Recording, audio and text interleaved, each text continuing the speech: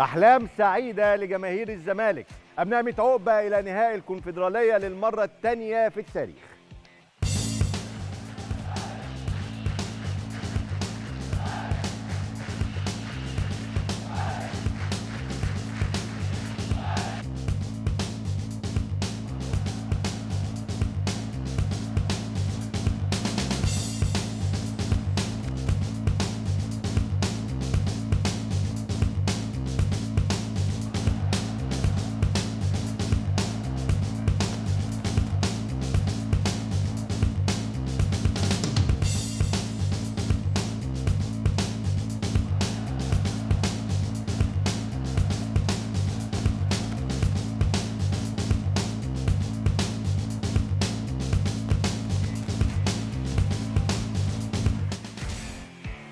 بروح لاعبيه وفارق الخبرة والإمكانيات. الزمالك يفوز على دريمز بثلاثية نظيفة ويحقق الفوز الأول في تاريخه على الأراضي الغانية علشان يتأهل إلى نهائي الكونفدرالية عن جدارة واستحقاق حالما بحصد اللقب القاري للمرة الثانية في تاريخه والأولى من 2019 ويا رب يا رب سوبر أفريقي مصري عن قريب.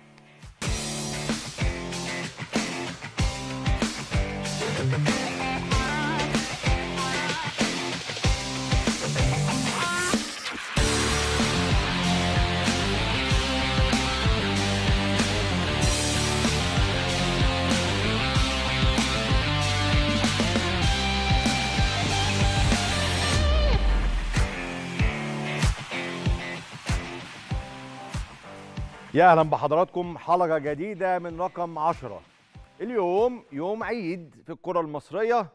من يومين كان يوم عيد آخر في الكرة المصرية. الشكل الطبيعي المنطقي. الأهلي في نهائي دوري أبطال أفريقيا الزمالك في نهائي الكونفدرالية. بداية البطولتين. دوري أبطال أفريقيا والكونفدرالية. قلت إنه الطبيعي والمنطقي. الأهلي يبقى في النهائي في البطولة دي والزمالك في النهائي في البطولة دي. مش علشان هم فرقتين من مصر وأنا طبيعة الحال هتعاطف معاهم أو هساندهم لا علشان الأهلي والزمالك في الوقت الحالي هم أهم فريقين في القارة الأفريقية. على مستوى اللاعبين على مستوى الأجهزة الفنية على مستوى الإدارات على مستوى الجماهيرية على مستوى كل شيء. الاستثناء إن الزمالك ما كانش هيبقى موجود في النهائي الاستثناء إن الأهلي ما كانش هيبقى موجود في نهائي دوري أبطال أفريقيا. نيجي على الزمالك النهارده. الزمالك واجهه سوء توفيق مش طبيعي في مباراة الذهاب أمام دريمز في القاهرة. سوء توفيق مش طبيعي.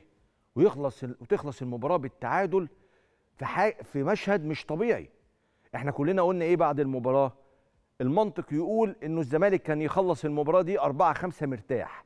وأنا قلت هنا وكنت بقولها بجرأة وبوضوح. الزمالك بيلاعب فرقة بين قوسين كده فرقة فاضية فرقة ضعيفة جدا فرقة هشة جدا. علشان كده بعد مباراة الذهاب قلت أنا واثق إن الزمالك يقدر يرجع في مباراة العودة بشكل طبيعي عادي. اللي كنت قلقان منه بس الظروف الغير طبيعية اللي بتحصل في الملاعب الأفريقية اللي هو الملعب وحش درجات حرارة ورطوبة جمهور بيضايق. كنت قلقان من الحاجات دي. وعلى فكرة الحاجات دي كانت موجودة النهارده. رطوبة عالية جماهير موجودة في المدرجات.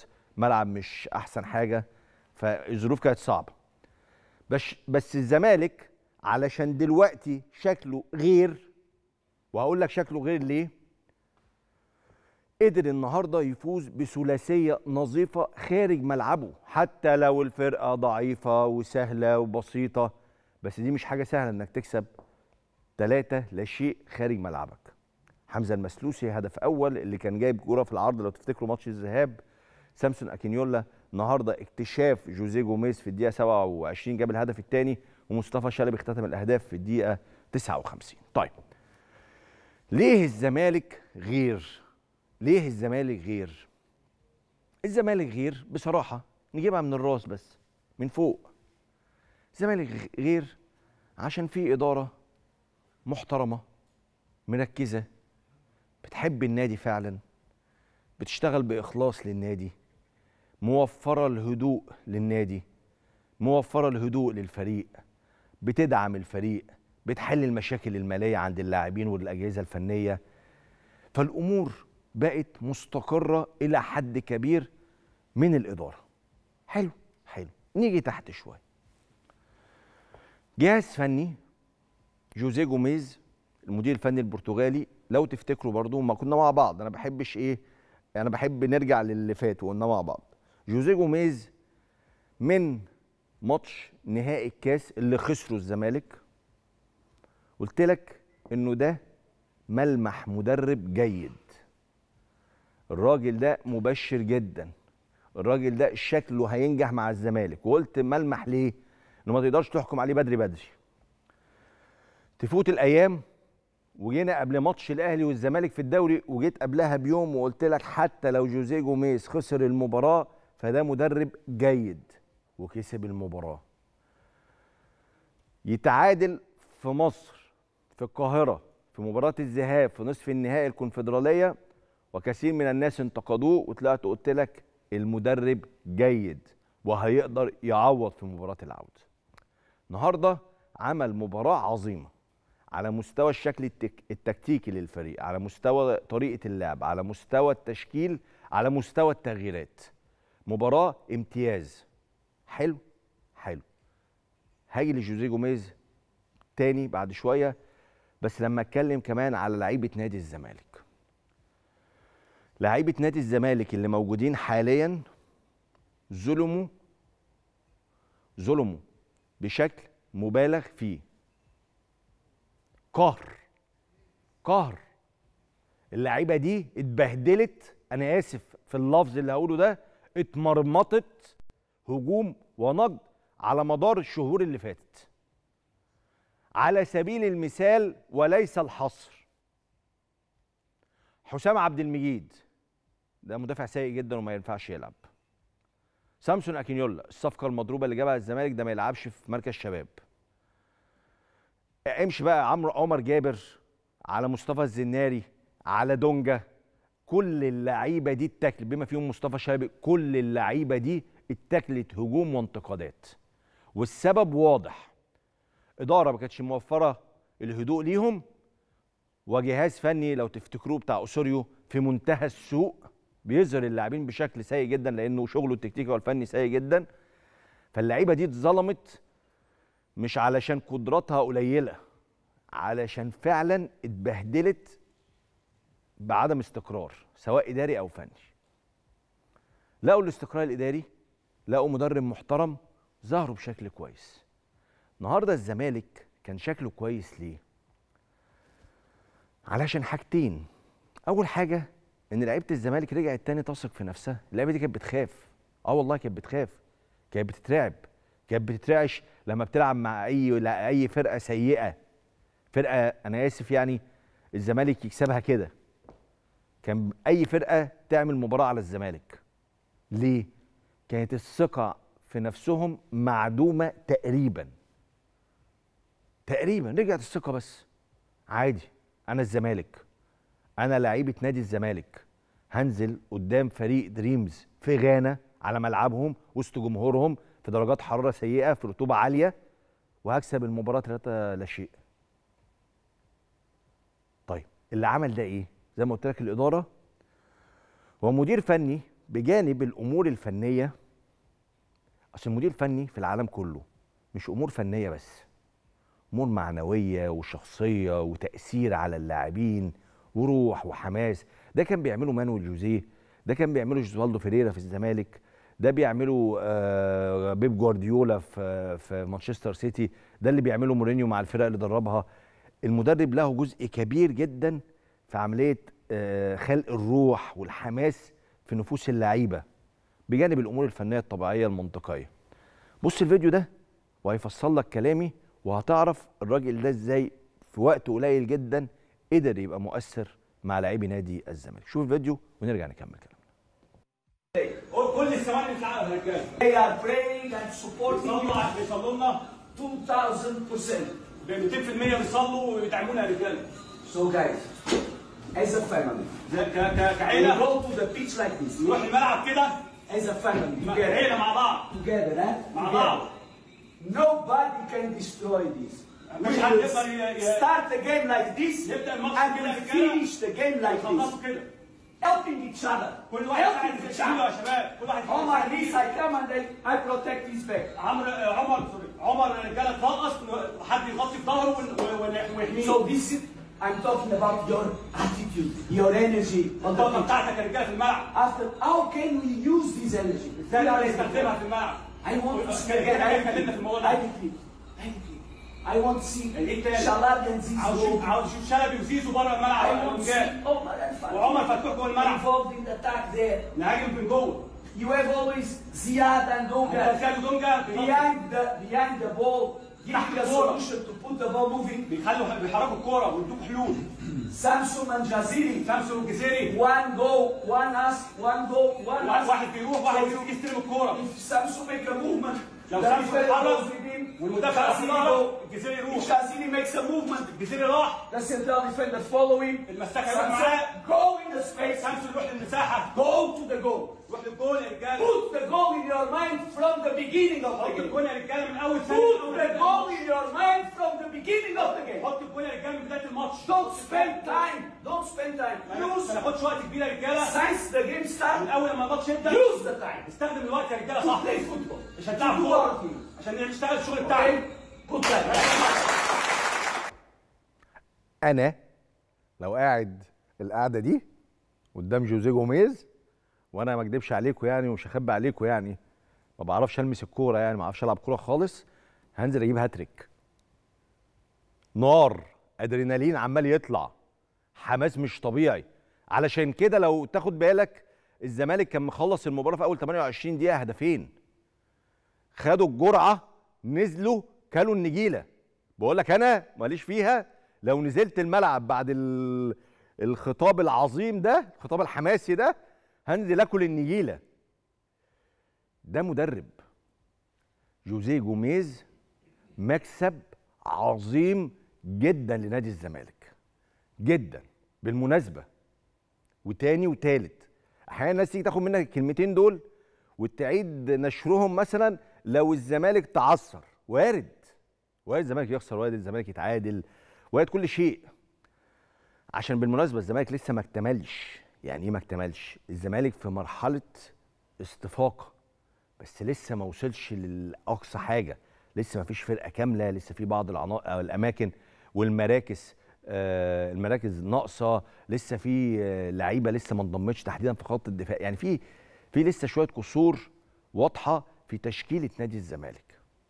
ورغم كده الراجل قادر يوصل لمرحلة إنه الزمالك في نهائي الكونفدرالية الزمالك يستعيد عافيته في الدوري ويعود مرة أخرى منافس على اللقب. بعد ما كانت البداية في منتهى السوء والجميع بيقول إنه الزمالك بره المنافسة الآن نتحدث إن الزمالك قريب من المنافسة على لقب الدوري. وكل ده في وقت قليل جدا جدا. طيب ده جوزيه جوميز. راجل اللي بقاله 3 4 مواسم هو أهم ورقة في نادي الزمالك. بصراحة شديدة. الزمالك لو غاب عنه أي لاعب أي لاعب لا يتأثر. إلا واحد. إلا واحد بشكل واضح وصريح. زيزو لما بيغيب عن الزمالك الزمالك يتأثر. ليس تقليلا من البقايا ولكن زيزو تأثيره الفني الهجومي الدفاعي المعنوي الشخصية. خد بالك زيزو دلوقتي بيتعامل في الزمالك إنه قائد. قائد في الفريق. هوريك شوية صور ممكن ما تكونش خدت بالك منها النهاردة لزيزو في المباراة. تفسر الكلام ده. وريني. يلا. يلا. هاتوا لنا الصور. ممكن أبص؟ ماشي. يلا بينا. ده زيزو جمع اللاعبين بعد بعد الهدف الأول. هات اللي بعدها. بيتكلم معاهم. الماتش ما خلصش إحنا لسه ما خلصناش. ركزوا. تمام؟ اللقطة دي ثبت شوية بقى هنا لحظة. اللقطة دي مهمة جدا جدا. ممكن برضو في وقت المباراة ما تاخدش بالك منها. ده كان انفراد أو كرة خطيرة على محمد عواد. وآخر واحد في الملعب مع محمد عواد بيدافع هو زيزو. شايل المسؤولية. شايل المسؤولية. هات اللي بعدها. وعرف ياخد الكرة وعرف يضايق المهاجم بتاع آه، فريق دريمز. والهجمة راحت على دريمز وزيزو أنقذ الزمالك. زيزو بعد الكورة بيشاور لكل اللعيبة وبيزعق على اللعيبة ما كانتش واخدة ال position بتاعها أو المكان الم- ال- بتاعها في مركزها يعني. ده شغل قائد. هو على فكرة لو قائد داخل الجول أنا مالي أنا ما أجيش أنا هنا في الحتة دي. دي مش حتتي خالص. ده مش ال zone بتاعي. ده مش ال zone اللي لي المدرب. أكيد المدرب ما طلبش من زيزو إن يبقى موجود في المكان ده بالمناسبة يعني. بس زيزو لقى إن في ثغرة ما حصلت وهيحصل هجمة خطيرة على الزمالك. ضرب ال sprint وصل لحد محمد عواد. أهي دي العقلية ودايما بقول كده. مش في الزمالك بس المفروض تبقى كل اللعيبة عندهم العقلية دي في كل اللعيبة اللي في مصر. ليه زيزو محافظ على هذا الثبات في المستوى بقاله ثلاث مواسم؟ ليه؟ عقلية. واحد بيتمرن كويس واحد حتى فاكرين لا قصة التعاقد والاحتراف والكلام ده كله ما خدتش منه وفضل يأدي بشكل كويس. واحد ما عملش مشكلة مع لاعب واحد آه، بيس- عنده قصور مثلا. لو تفتكروا أول ما جه الزمالك كان عنده قصور إن هو ما بيعرفش يسجل أهداف يعرف يصنع بس ما بيعرفش يسجل بقى هداف الزمالك. واحد آه، بيشتغل بس على الخط كجناح خط ما بيشتغلش في العمق وما بيشتغلش انسايد بقى يعرف يخش منطقة الجزاء كتير. ده شخص بيطور من نفسه طول الوقت طول الوقت طول الوقت. ضيف عليهم إنه بقى شايل مسؤولية فرقة الزمالك. ودي حاجة كبيرة جدا ومش أي حد يقدر يعملها. وممكن أعدهم لك على صوابع الإيد الواحدة تاريخيا في نادي الزمالك. اللي قدروا يشيلوا مسؤولية الفرقة. هو ليه جماهير الزمالك بالمناسبة بتعشق ج- شيكابالا؟ هل بس عشان بطولات حققها مع الفريق؟ هل هو عشان لاعب حريف ومهاري بس؟ لا. عشان دي بس دايما لغز بالمناسبة الشيء بالشيء يذكر يعني. يعني تلاقي ناس مثلا يقول لك إيه يا عم هو شيكابالا عمل كام بطولة مع الزمالك؟ يا عم هو شيكابالا تاريخه ده فيه كام جول؟ يا عم ش... لا. جماهير الزمالك تعشق شيكابالا علشان طول الوقت كانت شايفاه مسؤول شايل الفرقة شايل مسؤولية الفرقة. فدي مش حاجة سهلة. بالمناسبة يعني أنتوا فاكرينها حاجة بسيطة يعني إنك تشيل مسؤولية فريق الزمالك تحديدا عن أي فريق آخر بالمناسبة. دي حاجة صعبة. ليه؟ إنه الزمالك عاده عاده قدروا كده قدروا كده للأسف يعني عايش طوال سنوات طويلة في مشاكل وأزمات وحاجات إدارية وحاجات فنية طول الوقت. فاللعيب اللي بيشيل بقى مسؤولية القائد في في الزمالك ده شايل كل الحاجات دي مع بعضها. فحاجة صعبة يعني بالمناسبة يعني بما إني ذكرت شيكابالا. بعد مباراة الذهاب وشيكابالا كان موجود في الفرقة ناس كتير حملت شيكابالا إنه الفريق ما كسبش وإنه الفريق وإنه شيكابالا كده بيخلص وإنه شيكابالا كده مش المفروض يبقى أساسي وإنه شيكابالا آه بي- بيبوظ الريتم بتاع الفريق. بص هتفق معاك في حاجات وهختلف في حاجات كتير قوي. شيكابالا في ظروف صعبة جدا مر عليها الزمالك في شهور فاتت وما كانش فيه تدعيمات وما كانش فيه لعيبة وما كانش فيه أي حاجة. كان بيشيل مسؤولية وكان مؤثر جدا وكان بيسجل وكان بيصنع وكان بيدي مجهود كبير جدا رغم العمر ده. تمام؟ أنت دلوقتي كمشجع للزمالك شايف عناصر كتير مميزة تقدر تشيل في ال- الفرقة فحسيت إنه يا عم لا شيكابالا خلاص بقى. يا سلام! ده بيشيل اهو ما هو بيشيل مع هو دلوقتي ما بقاش يشيل لوحده بقى في ناس بتشيل معاه. فانت قلت إيه؟ طب خلاص بلاش شيكابالا. ليه؟ طيب فنيا لو أنا مثلا المدرب بتاع نادي الزمالك هتعامل مع شيكابالا زي ما تم التعامل مع فرانشيسكو توتي في آخر موسمين معاه في AS روما. توتي في آخر موسمين في روما ما كانش أساسي. أنت موجود أنت مهم أنت مهم أنت مش قاعد تكريم.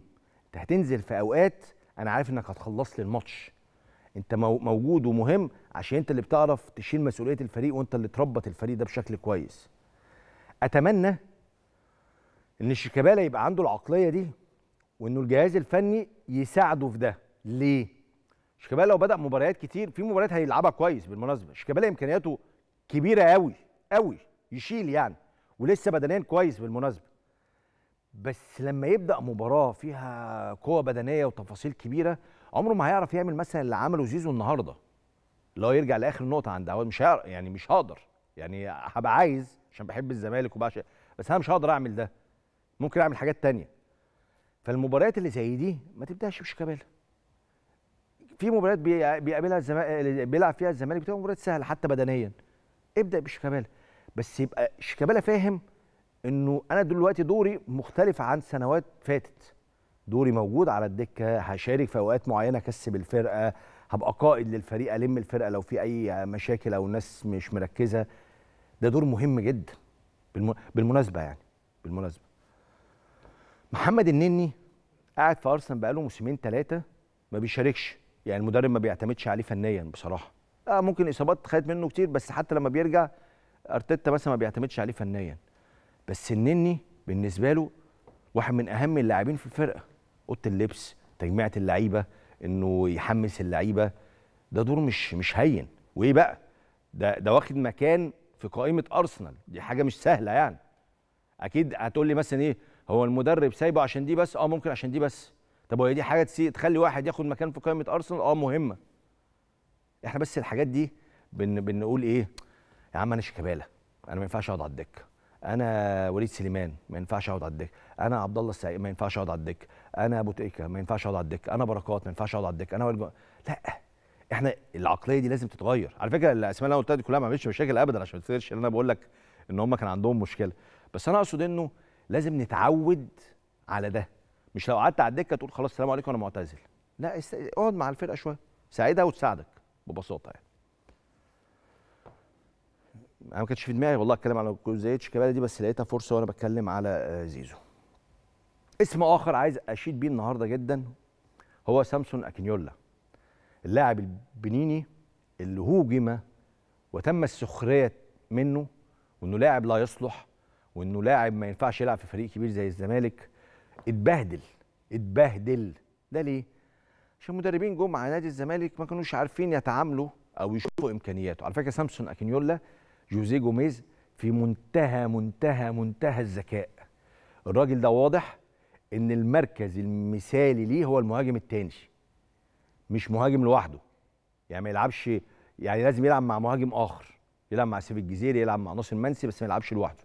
لما يلعب مع مهاجم آخر يا خبر أبيض بيطلع نار النهارده الاستلامة بتاعت الكورة. اللفة القرار بطن الرجل في الزاوية في أقصى الزاوية أرضية قوية سريعة لا ما هو ده مهاجم تقيل ده مش ما ينفعش يبقى مهاجم بالصدفة يعني.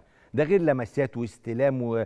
واستحواذ على الكورة و... عنده تفاصيل حلوة. مش بقول لك إن هو مهاجم عظيم بالمناسبة بس مهاجم ما كانش ينفع يقعد على الدكة الفترة اللي فاتت دي كلها أو يترمي الرمية دي الفترة اللي فاتت دي كلها يعني.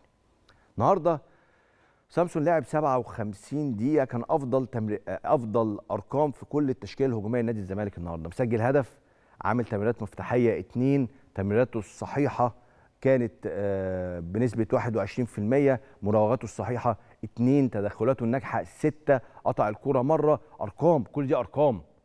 في مهاجمين ما بيعملوش نص الأرقام دي. بالمناسبه ممكن تبقى أفضل بس ده مهاجم عامل أرقام كويسة. ليه ده مش موجود في تشكيلة الزمالك؟ أو ما كانش موجود في تشكيلة الزمالك.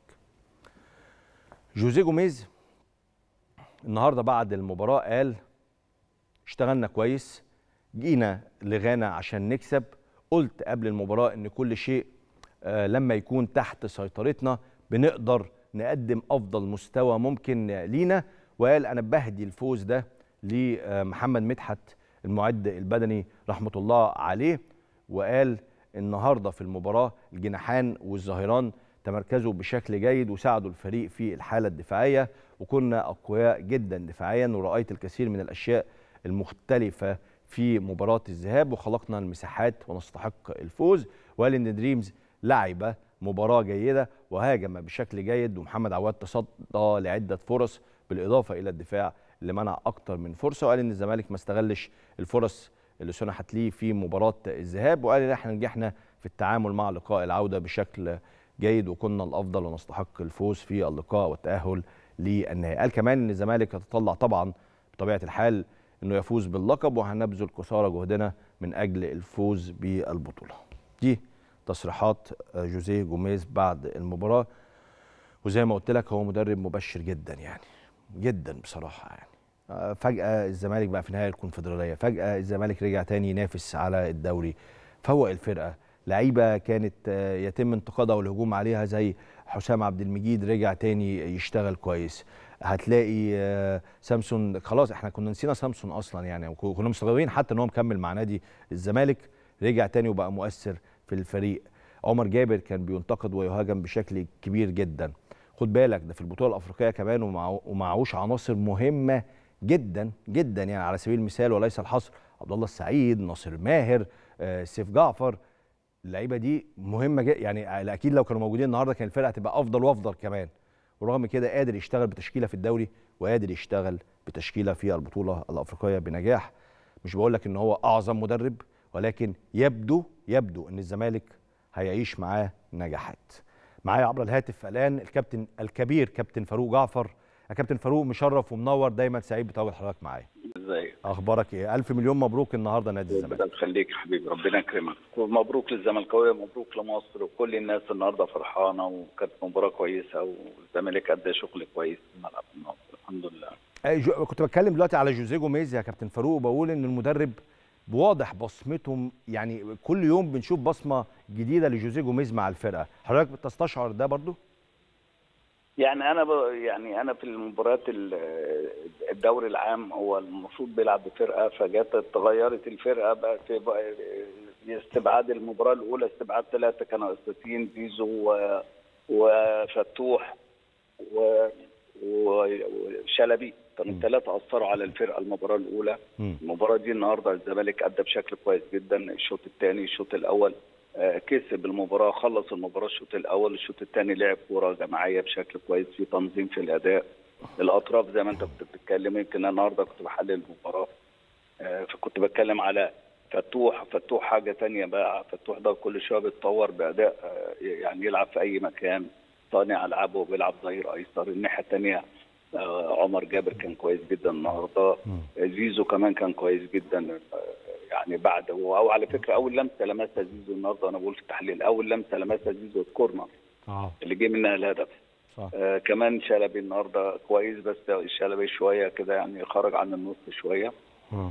لكن عموما ال- الأداء بتاع الزمالك بتاع الشوط الثاني مبشر. إن بيلعبوا كرة جماعية التسليم والتسلم بشكل كويس. ثقافة الأداء الجماعي موجودة عند الفرقة الانتشار كان جيد.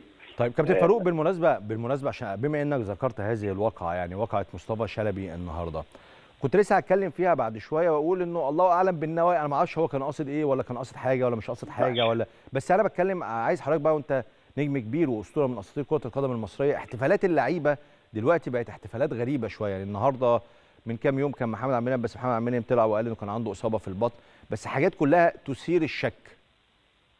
يعني ال- أصلا ال- الخطأ ما بقاش ليه مبرر. يعني الخطأ خطأ تحاسب عليه لازم يتحاسب عليه. مم. يعني هو غلط ولازم يتحاسب عليه. وده هيبقى ده ده قرار ال- الجهاز الفني وال- والمدير الكورة هيبقى قرار يعني. لكن آه، النهارده يعني الأداء الأداء بشكل كويس. هو النهارده مصطفى كان كويس ما كانش. كان يعني كان كويس أحسن الماتشات اللي فاتت. صح. عموما الزمالك النهارده يعني هو والأهلي فرحوا الجماهير المصرية في أسبوع يعني جايبين ست أهداف في أسبوع وما. دخلش فيهم ولا هدف. دي تتحسب للاثنين المدربين سواء لكولار أو سواء لجوميز صحيح النهارده الفرقتين أدوا الفرقة النهارده أدت بشكل كويس انتشار جيد جدا الشوط الثاني. الشوط الأول آه، كان ممكن في, في الظروف الرطوبة ممكن كان الزمالك ده نزق في حتة العشوائية في الأداء ولكن اللعيبة كان في سيطرة عليهم. في الملعب والمجموعة اللي لعبت آه، آه، سامسونج يمكن لعب في حتة ما كان مش بتاعه لكن لعب فيه كويس جدا. سيف الجزيري النهارده ممكن مش في حالته لكن كان الانتشار وت- واداؤه الحركي آه، إدى مساحات للعيبه نص الملعب. يعني الفرقة كلها كانت كويسة وأنا أنا بخص يعني بصفتي لعيب كرة أو مدرب الطرفين النهارده هم اللي كانوا مؤثرين بشكل كبير في نادي الزمالك. زيزو ومصطفى شلبي. وال- والظاهرين. والظاهرين كمان. فتوح وعمر. وعمر. يعني أدوا بشكل كويس جدا. عموما النهارده آه. اتكلم بقى على يعني أنا وجهة نظري نجم المباراة الأول هو عواد. عواد. آه عواد النهارده أربع خمس آه، انفرادات بيشيلهم ثقة. يعني أنت دلوقتي قاعد تقول أنا عايز أجيب حارس مرمى عايز أجيب ممكن تجيب حارس مرمى يلعب على عواد بالحالة اللي هي فيها عواد دي. مستحيل. مم. زي ما أنت بتتكلم آه، سيف الجزيري هنجيب واحد تاني. هو بع- بعد مباراة الأهلي ما سيف الجزيري جاب هدفين. حد يقدر يقول هجيب لعيب يلعب على سيف الجزيري بعد ما جاب هدفين في النادي الأهلي؟ يعني لازم الحاجات دي فيها تريث شوية الكلام مش بعد كل مباراه نقعد نتكلم. الزمالك أدى بشكل كويس. ده يخليني كان- خليني خليني أسألك يا كابتن فاروق كمان. شيكابالا تعرض لبعض الانتقادات بعد بعد مباراة الذهاب وفي بعض الناس قال لك خلاص شيكابالا ممكن ياخد قرار بالاعتزال. شيكابالا ادى كتير لنادي الزمالك. ممكن في لعيبة دلوقتي شايله المسؤولية أفضل. كنت لسه بتكلم على نقطة شيكابالا دي وإزاي يتم التعامل معاه في الزمالك دلوقتي يا كابتن فاروق. اللي زي شيكابالا اللعيبة الكبيرة دي ما ما تتحطش تحت حتة إن أنت تقيمها قيمها شيكابالا لما بيكون فايق بيكسبك. مم. ما ك- ما مباريات كتيرة السنة دي والفرق في أسوأ حالاتها وكان بيكسبك. صحيح. فلما بتكلم على لعيب كبير لازم بديله وضعه. وحتى لو هو مش هيلعب مش هيلعب أتكلم معاه إن أنت مش هتلعب. لو أنت مش هتلعب أو أقول إن أنت مصاب أو عيان أو بتاع لازم يبقى في شيء. الاحترام اللعيب ده, ده يعني لعيب كبير واسم كبير في تاريخ نادي الزمالك يعني. صحيح. فلازم آه، ال- الواحد يتعامل معاه بشيء من الاحترام. شيكابالا عنده استعداد وفت إن هو يلعب آه، يلعب سواء مش هيبدأ حتى لو قعد على الدكة فهو شيكابالا لكن ما, ما نقدرش آه، نقول إن مثلا أنا بقول الفرقة وشيكابالا بره الفرقة لازم يكون في عذر. صحيح. يعني هو شيكاب- شيكابالا اللعيبة كلها بتتع- بتتعلم من شيكابالا وبتبص على شيكابالا وجماهيريته وشعبيته والناس وقد إيه هو في الإعلام بشكل كويس. فإحنا لازم نعمل 50 واحد شيكابالا. لكن ما نجيش على الكبير وهنقعد نقول يلعب ما يبدأش يبدأ. لا هو لو لو مش هيلعب هيقعد على الدكة. لأن هو أنت ممكن تحتاجه. يعني ممكن تحتاجه في أي وقت بينزل ويكسبك ويقول لك بعد دقيقة 50 60 ينزل بيكسبك. فنحافظ دايما على النجم. النجم ده بيبقى يعني حاجة حاجة مهمة جدا في في الفرقة إن هو بيدي اللعيبة دافع معنوي ونفسي ويشجعهم إن هم يكسبوا. فلازم يعني كلنا بنقدر ون- وما ننساش شيكابالا يعني لازم برضك ده لعيب كبير لازم يبقى له يبقى له وضعه. وإن كان مصاب إن شاء الله ربنا يشفيه ويرجع الملعب بسرعة إن شاء الله. صحيح. كابتن الكبير كابتن فاروق جعفر أنا بشكرك شكرا جزيلا على هذه المداخلة وألف مليون مبروك مرة أخرى. بالمناسبة مصطفى شلبي الجزئية اللي اتكلم فيها الكابتن فاروق جعفر. أحكي لك حكاية كده لذيذة مختصرة جدا يعني. بعد الحركة اللي عملها محمد عبد المنعم في المباراة الماضيه قدام مازيمبي فتلاقي جماهير الزمالك تقعد تضغط تقول انت إزاي ما هاجمتوش محمد عبد المنعم؟ أنتوا إزاي ما عملتوش في محمد عبد المنعم؟ يجي مصطفى شلبي يعمل حركة زي دي فتلاقي جماهير النادي الأهلي الحق؟ دول مش عايزين يهاجموا مصطفى شلبي دول مش عايزين مش عارف إيه. طيب موضوع بسيط يا جماعة في منتهى البساطة. محمد عبد المنعم هو قال لك إنه أنا كان عندي مشكلة في البطن وببص على بطني عشان كان في آه، خدش مثلا. وبعد كده طبيب النادي الأهلي طلع أكد الكلام ده واتقال إنه عمل- اتعمل أشعة سونار والكلام ده كله. مصطفى شلبي النهارده في حركة عملها. إحنا كإعلاميين حضرتك كمشجع أنا إزاي هقدر أخش في النوايا؟ يعني دلوقتي لو قلت لك مثلا إنه عمل حركة سيئة النهارده فهو هيطلع يقول لك لا ده أنا كنت بخبط في صدري بحماس. مثلا مثلا أنا مع يعني أنا أنا إزاي هقدر أعمل كده؟ طبعا جهاز فني بقى إدارة ممكن يسألوه ويتأكدوا اذا كان الموقف ده غلط ولا لأ. أنا زي ما قلت على محمد عبد المنعم هو محمد عبد المنعم إيه اللي هيخليه يعمل حركة زي كده وفرقته كسبانة والمين وجمهور مازيمبي مش موجود هيعملها لمين؟ فأنا حاولت أحللها انه مفيش سبب يخليه يعمل الحركة دي. النهارده نفس الأمر مصطفى شلبي إيه اللي هيخليني أتوقع إنه عمل حركة زي كده؟ هيعملها لمين؟ ففي ح... وعلى فكرة ممكن يكون مصطفى شلبي قاصد ممكن يبقى محمد المنعم قاصد بس أنا أنا هخش في النوايا إزاي أدام هم بيقولوا إن إحنا ما كناش قاصدين نعمل حاجة غلط خاصة إن الحركة تقبل كده وتقبل كده يعني تقبل حسن النوايا وتقبل أيضا سوء النوايا. عموما نرجع لفرحة الزمالك النهارده. أنا بس اتكلمت على الجزئية دي بما إن الكابتن فاروق جعفر فتحها دلوقتي معايا. معايا الآن عبر الهاتف اللي كنت بشيد بيهم منذ لحظات أو بداية كلامي النهارده هو الرأس إدارة نادي الزمالك اللي وفرت كل هذا الاستقرار والهدوء للفريق. معايا الدكتور حسام المندوه أمين صندوق نادي الزمالك ورئيس بعثة الفريق في غانا. يا دكتور حسام ألف مليون مبروك وبقيت أقولها لك كتير الأيام الأخيرة. الله يبارك فيك يا كريم والحمد لله يا رب تقولها دايما. الحالة حلوة الفرقة حلوة. آه كنت لسه بتكلم من شوية إنه ده الزمالك هو هو نفس الزمالك اللي من كام شهر كنا بنقول اللعيبة دي سيئة اللعيبة دي لا تصلح إنه اللعيبة دي مستحيل تاخد بطولة أو توصل لمرحلة كويسة. لما توفر لها الهدوء وتوفر لها الإمكانيات قدرت تشتغل بشكل رائع جدا. الحمد لله. طبيعة أي عمل كده لو استقر وركزت فيه وقفلت على المجموعة اللي بتشتغل يعني لعيبه الزمالك رجالة ودايما لما يعني بنقع في الزنقات ديت وفي ونحس إن ال- ال- المواضيع بتضيع مننا. لا لعيبة الزمالك حقيقي بيرجعوا تاني وبيكونوا قد التحدي. وده اللي ثبت في الماتش ده. يعني يمكن الماتش الأولاني في القاهرة كان لنا فرص كتيرة وكان ممكن نخلص من هناك على طول. ولكن ربنا أراد برضو يكون الموضوع مش سهل كده عشان برضه الفرحه تكون كبيرة صح. والحافز كمان يكون كبير. وده فعلا اللي شفناه النهارده. أداء محترم جدا. آه كل واحد تغلب على نفسه. فنتجت بقى النتيجة اللي كان ممكن على فكرة تزيد كمان عن كده يعني كان ممكن كمان صح. نطلع كاسبين أكثر من 3-0 مم. مم. الفرقة شفنا دلوقتي المدير الفني جوزيه جوميز كان كابتن عبد الواحد السيد نشر فيديو وهو يحمس اللاعبين ويتكلم معاهم حضرتك بصفتك رئيس البعثة قلت إيه للفريق قبل المباراة والله إحنا اجتمعنا معاهم آه، إمبارح آه، في وجود الكابتن حسين لبيب والكابتن أحمد سليمان والدكتور عبد الله جورج سعد آه، هم كانوا أعضاء البعثة. واتكلمنا مع اللعيبة في أهمية المباراة دي في قد إيه آه، الكل منتظر منهم يحققوا ال- ال- النتيجة الإيجابية عشان آه، نتغلب على ال- المباراة دي نتغلب على دريمز الغاني في المباراة دي. وبعد كده نقابل اللي هيوصل للنهائي اللي النهارده شفنا النهارده تقريبا اللي وصلت آه، عشان في الآخر نحصد البطولة. اللي هي غالية علينا كلنا اللي هي مهمة علينا كلنا اللي هو لازم في الآخر إن شاء الله طبعا كل شيء بمشيئة ربنا لازم نكسبها وإن ما فيش حاجة ناقصانا عشان نكسب البطولة دي وإن في تحديات كتيرة جدا كلنا كلنا بنمر بيها. وكلنا في صف واحد. فالطبيعي إن إحنا آه، نجتهد مع بعض كلنا عشان نتغلب على المشاكل اللي إحنا موجودين فيها. هو حقيقة الأمر برضه يا كريم. المهم إن إحنا. آه، بنشوف ان إن المدير الفني. آه، يعني برغم إن هو ما بقالوش كتير آه، في مصر ولكن هو آه، وما بقالوش كتير مع الزمالك هو لا هو هو شايف المشاكل اللي بيمر بيها النادي. هو عايش القصة معانا. هو عايز يتغلب معانا على المشاكل دي كلها. اللعيبة كانوا نفس الحكاية بالظبط. كنا بنتكلم مع حد يقول إحنا ما عندناش اختيار تاني غير إن إحنا نكسب. حقيقي لما بنتكلم معاهم نلاقي معنوياتهم عالية التحدي عندهم عالي جدا جدا جدا. مم. فالحمد لله كلهم النهارده كانوا رجالة. اللي جوه الملعب واللي بره الملعب وحقيقة أنا اخص اللي بره الملعب الكابتن شيكابالا كابتن الفريق اللي كان داعم جدا لفرقته ويمكن برضه امبارح اتكلم معاهم وامبارح آه، آه، قد إيه آه، يعني حسيتهم قد إيه الماتش دوت مهم جدا بالنسبة لينا كلنا.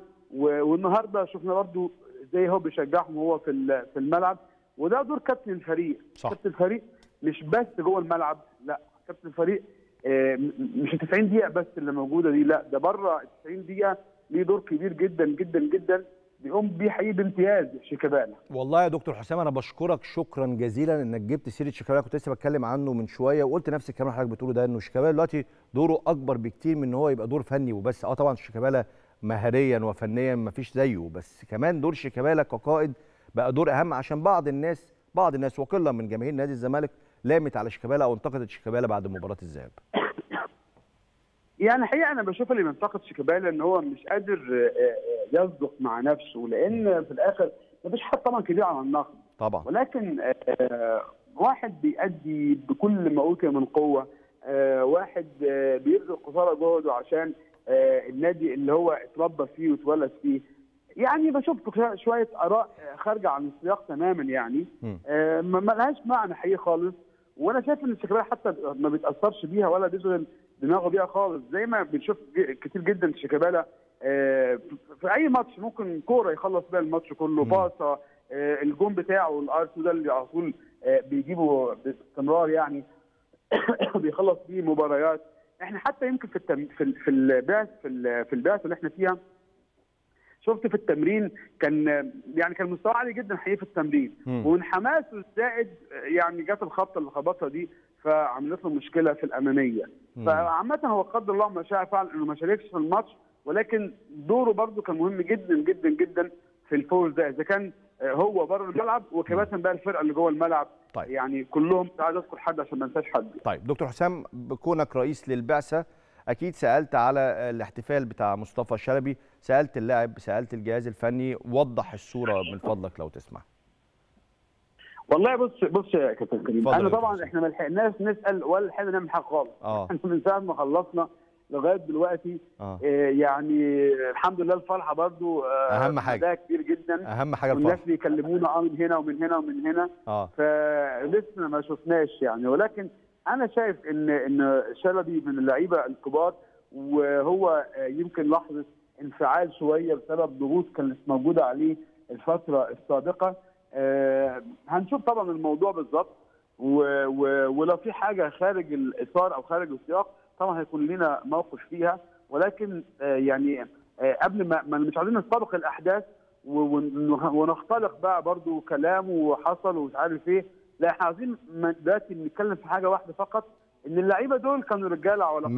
المسؤولية. صح. بش- فبشكرهم على على اللي عملوه وبشكرهم على رجولتهم دي اللي أنا منتظر زيها وأكثر كمان مش أنا بس. ده كل الزملكاويه في العالم كله منتظرينها إن شاء الله يوم آه، آه، أعتقد 12 12 ولا 12 12 12 الذهاب صح؟ الماتش إن شاء. الله. في المغرب. 12 و19 آه. بالظبط. مايو إن شاء الله. من حظ لعيبه من ده حظ بنتكلم فيه دلوقتي. آه من حظ لعيبة الزمالك آه، في المباراة ديت إن رئيس البعثه هو أمين الصندوق. المكافآت أخبارها إيه يا دكتور حسام؟ يعني من إحنا إحنا من- إحنا جينا من للسورس؟ نفسه. هو طبعا أهم حاجة ال- المكافآت طبعا. هم حقيقة يستحقوا يعني اللعيبة يستحقوا إن هم أجادوا جدا وكانوا جادين كمان جدا جدا جدا.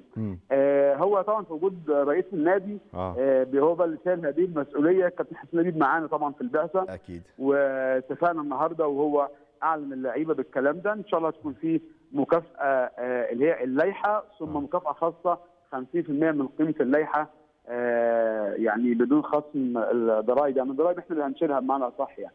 آه. لكن آه، هم كده. هياخدوا مرة ونص اللي في اللائحة. يا سيدي مبسوطين. مبسوطين بس هم يستحقوا عشان هم آه، يعني النهارده بسطوا جماهير الزمالك. أيوه. طبعا يعني بقول لك. يستحقوا كل شيء. مبسوطين لأن حقيقي آه، أنا بشوف إن إحنا آه، بندفع حاجة في محلها بنصرف فلوس في محلها في مكانها. آه. لناس تستحق بالفعل. آه. لناس آه، تعبت لناس فرحت الجمهور كله. آه، لناس إحنا عايزينهم معانا في المرحلة الصعبه اللي بيمر اللي بيمر بيها نادي الزمالك حاليا. هم يستحقوا كمان كده وأكثر كمان يعني. دكتور حسام المندوق أمين صندوق نادي الزمالك رئيس بعثة الفريق في غانا. أنا بشكرك شكرا جزيلا وبهنيك مرة أخرى فوز الزمالك اليوم وصعوده إلى نهائي الكونفدرالية الأفريقية. بالمناسبة الطرف الثاني من مباراة النهائي الكونفدرالية هو فريق نهضة بركان. أنتوا عارفين الحكاية اللي حصلت في مباراة الذهاب في الجزائر واحتساب المباراة لصالح نهضة بركان بثلاثية نظيفة. المشكلة اللي حصلت بتاعت التيشيرتات.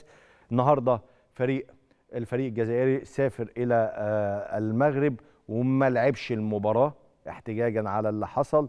وبالتالي فاز نهضة بركان وصعد للمباراة النهائية دون أن يلعب مباراتي الذهاب والإياب في نصف النهائي. مواجهة مش سهلة على نادي الزمالك بس هي مش سهلة أكتر على فريق نهضة بركان. ده اللي اهم إحنا محتاجين نقوله فكل التوفيق لنادي الزمالك إن شاء الله. وخلال الأيام اللي جاية هنتكلم كتير على نهضة بركان وإزاي الزمالك يتعامل معاه النهارده بالنسبة للنادي الأهلي في حكاية مهمة. عمرو السولية في مباراة مازيمبي طلع وكان متنرفز. حسين الشحات قلع تيشيرت وكان متنرفز. وبصراحة الاثنين اللعيبه دول محترمين جدا عمرو السولية وحسين الشحات. ما بفهمش اللعيب الكبير كبير اسما وتاريخا لما بيخرج عن شعوره. لو الفرقة كسبانة بالمناسبة لو الفرقة كسبانة عشان انت تيجي تقول لي إيه ما هو صلاح من كام يوم كان خرج عن شعوره وانت قلت يعني وارد إنه يحصل. لا مش وارد. غلط صلاح غلط. بس أتفهم صلاح إنه الفرقة مضغوطة خسرانة دوري إنجليزي وخسرانة دوري أوروبي والفريق متع... يعني في في ظروف تخليك تخرج عن شعورك. انت بقى عمرو السولية أو حسين الشحات الفرقه كسبانه واصلين فاينل وهيبقى ليكوا دور. وطبيعي حسين الشحات تشوف في المباراة النهائية وطبيعي تشوف عمرو السولية في المباراة النهائية.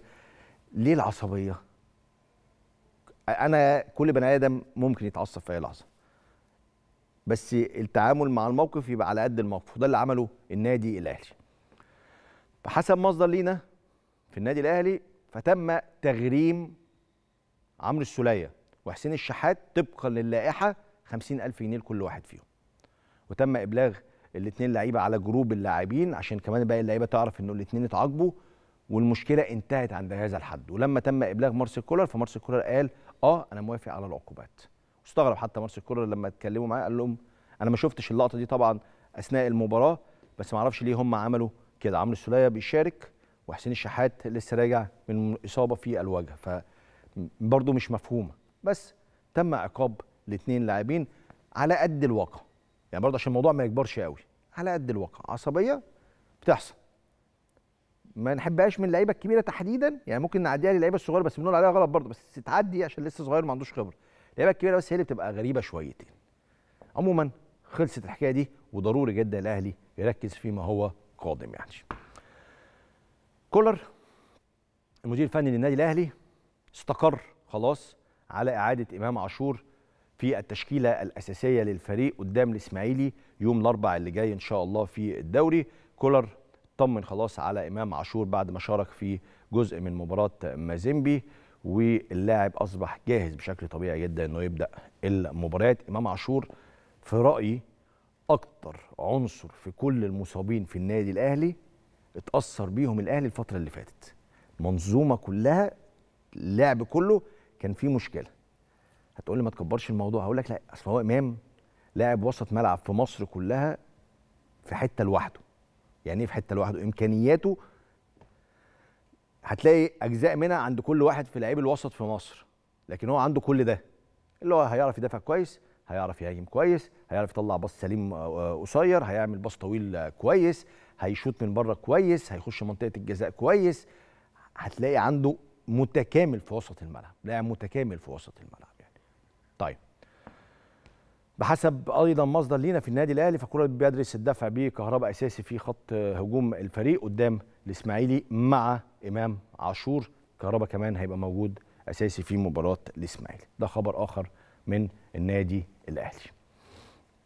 ومروان عطيه بقى جاهز للمشاركة في المباريات وتحت تصرف الجهاز الفني هيشارك في مباراة الإسماعيلي أو لا. ده بحسب التقرير الطبي النهائي اللي هيوصل لمارسيل كولر بالنسبة لمروان عطية قبل المباراة بليلة. غالبا مروان عطية موجود بس ممكن يبقى على الدكة مش في التشكيلة الأساسية. طيب النهارده فريق الكره بالنادي الأهلي فريق كرة الطائرة بالنادي الأهلي رجال فاز ببطولة كأس مصر للمرة ال 22 في تاريخه بعد ما فاز على نادي الزمالك في المباراة النهائية بنتيجة 3 1 ألف مليون مبروك للنادي الأهلي الفوز ببطولة الكرة الطائرة كأس مصر. طيب عايز أرجع للحكاية بتاعه محمد صلاح امبارح وكان ليا رأي فيها مش هكرره تاني ونسمع أحسن من زميلتنا العزيزة سلمى مشهور مشجعة مصرية لفريق ليفربول حضرت مباراة الليفر هي صناعة محتوى خطيرة يعني أكيد حضراتكم أو جزء من حضراتكم بيتفرج عليها أنا من الناس اللي بتتفرج عليها طول الوقت. مشرفاني ومنوراني سعيد جدا بتواجدك معايا. والله أنا أسعد. شكرا جدا على الكلام الجميل ومبسوطة جدا إني متداخلة معاكم. أنا مبسوط أكتر. قولي لي بقى من الملعب امبارح شفتي اللقطة بتاعت صلاح وكلوب إزاي؟ وتحليلك ورأيك برضو. وأنا عارف إن أنت بتتكلمي طول الوقت مع الجماهير وبتساليهم الناس برضو رأيها إيه بالنسبة للموقف ده موقف صلاح ويورجن كلوب؟ بص هو من أول الماتش خالص لما صلاح كان بيقوم يسخن كان واضح إن في حاجة حتى في لقطة أنا صورتها بالصدفة تسميكاس وشوشه كده قال له حاجة راح صلاح عمل له كده. أكنه قصده اللي هو مش فارقة بقى خلاص. كان واضح إن في تنشنة يعني. طبعا على الخط بقى شفنا اللي كلكم شفتوه يعني. معرفش بقى واضح لكل الناس قد إيه وكل كلنا طبعا بنحاول نخمن اللي حصل يعني في الآخر. آه، واضح إن كلوب كان عايز يحضنه وصلاح ما كانش عايز يحضنه فحصل تنشنة قال له خلاص عنك ما حضنتني ما نعرفش وشوشه إيه بس هو صلاح كان نازل وهو ساكت واضح إن اللي كلوب قاله له هو اللي عمل كل ده وبالصدفة نونز دونا عن كل الناس هو اللي كان بيحوش ما بينهم فيعني طيب سلمى أنا عايز. أسألك الناس في المدرجات كانوا بيقولوا إيه؟ بي اللقطة دي شافوها إزاي؟ وأنت خارجة من الملعب الناس بتتكلم إزاي؟ حتى وأنت بتتابعي الناس على ال social media الإنجليز بيتكلموا إزاي عن اللقطة ديت؟ زعلانين من صلاح زعلانين من كلوب بيلوموا على صلاح بيلوموا على كلوب. شفتي وتحليلك للموقف كان عامل إزاي؟ أنا بصراحة شايفة إن الموضوع 50 50 يعني مم. اتكلمت مع كذا حد من مشجعين ليفربول اتكلمت مع كذا حد ما عندوش يعني ولا ليفربول ولا مصر ولا أي حاجة يعني ناس محايدة. والناس نص نص. كل الناس بتقول ما هو على حسب كلوب قال له إيه وفي ناس بتقول طبعا مهما كان قال له. بس هو الموضوع غريب عشان هو كلوب يعني دي حتته إن هو عمرنا ما شفنا ده. كلوب دايما واللعيب نازل بيبقى بيحضنه كده آه صلاح كان بيتضايق وهو خارج من الملعب بس دي حتته. وصلاح كمان الموضوع غريب عنه. ما إحنا ياما شفنا ده حصل. الغ... اللي عجبني بقى في الموضوع ده إن كلوب زمان لما كان بيطلع صلاح ومتضايق هو أو ماني كان كلوب بيقول أنا بحب ده فيهم أنا بحب شغفهم. ولو طلع مش متضايق أنا كنت هتضايق وأحس إن هم ما عندهمش الشغف ده. لكن امبارح في وجهة نظري في وجهة نظر ناس كتير أنا اتكلمت معاهم بسبب إن هم ما كسبوش الماتش ده. وبسبب الكام أسبوع اللي فاتوا الموضوع قلب الشغف اللي كان ممشي ليفربول وناس كتير أصلا بتقول إن ليفربول وصلوا اللي هم فيه الموسم ده بسبب الشغف والعاطفة. سبحان الله قلب على الاثنين اللي إحنا مش متعودين منهم ده. صح. فبتهيألي ده رأي المجموعة. وكمان لما ك- لما سمعت بقى صحفيين كتير قوي اللي صادفني إن معظم الناس اللي كانت لعيبة قبل كده كانوا متفهمين صلاح مش بيقولوا إنه صح كده كده طبعا غلط والتشويح غلط وكله بس كانوا متفهمين وكانوا حاسين عادي أنا كنت ممكن أعمل كده. الناس اللي ما كانوش لعيبة وصحفيين بس يمكن بيلوموا عليه أكتر بس دي حاجة صادفتني وحسيت إنها حاجة مشوقة يعني. سلمى أنا بشكرك شكرا جزيلا كنت مبسوط جدا إن أنت موجودة معايا النهارده. سلمى مشهور واحدة من صناع المحتوى الشاطرين جدا مشجعة دايما لليفربول موجودة طول الوقت في المدرجات. وميزتها إنها طول الوقت متواصلة مع الجماهير متواصلة مع كل الناس اللي بتشجع ليفربول. أنا بتفرج على فيديوهات لذيذة قوي بتسألهم على الفرقة بتسألهم على صلاح بتسألهم على آه، مستقبل ليفربول. تفاصيل حلوة كده من الحاجات اللذيذة قوي اللي بتحصل من جوه أرض الملعب. فكانت مهمة جدا إنها تكون موجودة معانا علشان كمان أفهم آه، وحضراتكم تفهموا أيضا الناس الجماهير جماهير ليفربول تحديدا شافوا الموقف إزاي؟ عشان إحنا هنا ربما شوية يعني بعضنا يعني أفور شوية ضد صلاح وإن كان مرة أخرى ومرة ألف ومرة مليون مفيش حد عاقل هيقول إن صلاح ما كانش غلطان. طبعا غلطان طبعا غلطان. بس ما حدش عارف لسه الحكاية إيه. تخيل الصحافة الإنجليزية دي الصحافة الإنجليزية ما بتش ما بتسيبش يعني آه حاجة تعدي كده ما بتسيبش. الصحافه الإنجليزية صحافة رزلة اللي هو بص هعرف هعرف إيه اللي حصل. الصحافه الإنجليزية لحد دلوقتي مش عارفة توصل إيه اللي حصل ما بين يورجن كلوب ومحمد صلاح. فما ينفعش تقعد تبني تصورات وتوقعات من غير ما نبقى عارفين المعلومة. ما ممكن يكون مثلا مثلا يعني يورجن كلوب راح شتم محمد صلاح. مثلا يعني ممكن يورجن كلوب مثلا قال له كلمة تستفزه. ممكن يورجن كلوب آه، قال له ارجع تاني ما مش هتنزل. ما يعني في حاجات ممكن تكون هو اللي كان غلطان فيها كلوب واستفز الراجل بطريقة مش جيدة يعني. طيب النهارده الجولة العشرين في الدوري الممتاز المصري والداخلية. المصري قدر يفوز على الداخلية بهدف قاتل جدا عن طريق معتز زدام في الدقيقة 95 واحد من أهم نجوم الدوري بالمناسبة السنة دي. مش بس آه، المصري معتز زدام لعيب مهم جدا ومميز جدا يعني هدف قاتل جدا في الدقيقة 95 أيضا في الجولة العشرين مباراة سموحة والمقاول العرب. سموحة قدر يفوز على المقاول العرب آه، بهدف حسام حسن في الدقيقة 43 والمباراة دي حصل فيها قصة وحكاية في الدقائق الأخيرة. حاجة جدل تحكيمي خطير واعتراضات بالجملة. نسمع ونفهم أكتر ويشرحها لنا الكابتن الكبير كابتن جهاد جريشة خبيرنا التحكيم. كابتن جهاد مشرف ومنور سعيد بتواجدك معايا. كريم صباح الخير عليك وعلى كل مشاهدينك آه، ده شرف ليا يا كريم أخبارك إيه؟ إيه اللي حصل بقى في مباراة المقاولين وسموحه في اللقطة الأخيرة ديت؟ اشرحها لي عشان أنا تهت تهت تحكيميا في اللقطة دي يعني خلينا يعني نمشي مع مع الصورة يعني ماشي. لو بنجيب الصورة مع بعض يلا ون- مع؟ ونتكلم مع الصورة آه اولا ال- ال- اللعبة لما اتعملت بالمنظر ده الحكم ما احتسبش خطأ للاعب المقاولين واحتسب لمسة يد على لاعب المقاولين وبالتالي ده كان- كان قراره على فكرة دي في آخر دقيقة في الوقت بدل الضايع الشوط الثاني. فإن نلاقي حكم في آر مركز وشاف اللعبة هو طبعا في مسك واضح مم. من مدافع سموحة. آه، للاعب رقم تسعة على المقاولين واستمر المسك وبعد كده حكم الفي ار استدعاه ووراه له اللقطه فهو رجع باحتساب ركلة جزاء صحيح. حلو. طب إحنا في وقت بدل ضايع ما فيش حاجة لازم الوقت يمتد عشان تنفيذ ركلة الجزاء. ماشي. النهارده مشكلتنا في تنفيذ ركلة الجزاء. هنقف يا كريم ساعة اللمس ساعة لمس ال- ال- ال- المهاجم المقاولين لل- للكرة في في تنفيذ ركلة الجزاء. هنتكلم في نقط عشان بس جمهورنا يتابع معانا ويفهم ال- الدنيا ماشية إزاي. يلا. ساعة اللمس بالظبط لل- يعني هنرجع بقى لساعة اللمس بالظبط لمس الكوره ونقف. آه. كم- لا لا نرجع نرجع يعني نرجع في. ورا. بالظبط يعني أول ما يلمس الكورة هنتكلم أول حاجة أول حاجة لهاني سليمان الرجل اليمين لهاني سليمان ملامسه لخط المرمى وبالتالي الهاني مش مخالف. ماشي. معانا في نفس اللقطة وإحنا واقفين زي نفس اللقطة معانا اثنين لعيبه من المقاولين داخل منطقة الجزاء. ماشي. دخولهم بالمنظر ده في حد ذاته مش مخالفة. ماشي.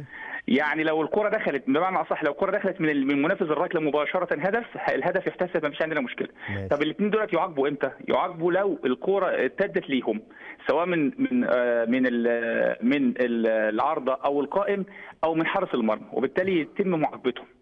ده طبقا لبروتوكول الفي ار لما بنراجع هو المراجعة بتحصل ليه؟ لأن في هدف عندنا. ممتاز. في هدف تم إحرازه. هنكمل على طول هنكمل اللعبة والكره هترجع لرقم تسعة.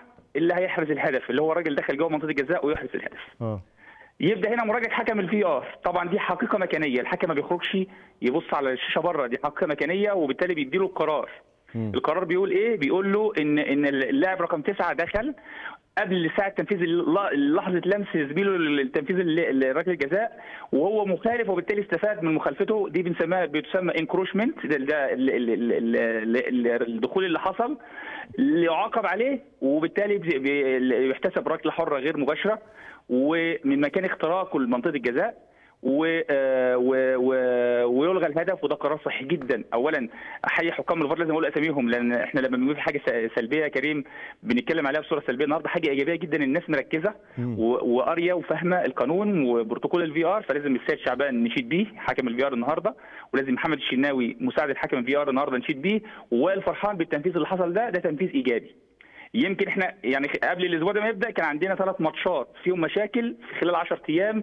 التحكيم أثر على نتيجة المباراة هقول لك الماتشات آه، آه، الفيوتشر والمصري مودرن فيوتشر والمصري كان التحكيم ضد المصري في الماتش ده الإسماعيلي ومودرن فيوتشر كان التحكيم ضد مودرن فيوتشر في الماتش ده البلدية المحلة والمقاولين كان التحكيم ضد المقاولين في الماتش ده فلما يجي دي السلبيات قلنا عليها واتكلمنا عليها في وقتها لكن لما نلاقي نلاقي هاي. النهارده حاجة مضيئة أو حاجة إيجابية لازم نتكلم. عليها. ونبروزها لأن النهارده ده يدل إن في حكام في. ار موجودين على تقنية الفي ار فاهمين وشغالين بصورة إيجابية والنهاردة فعلا طاقم التحكيم ما أخطأش.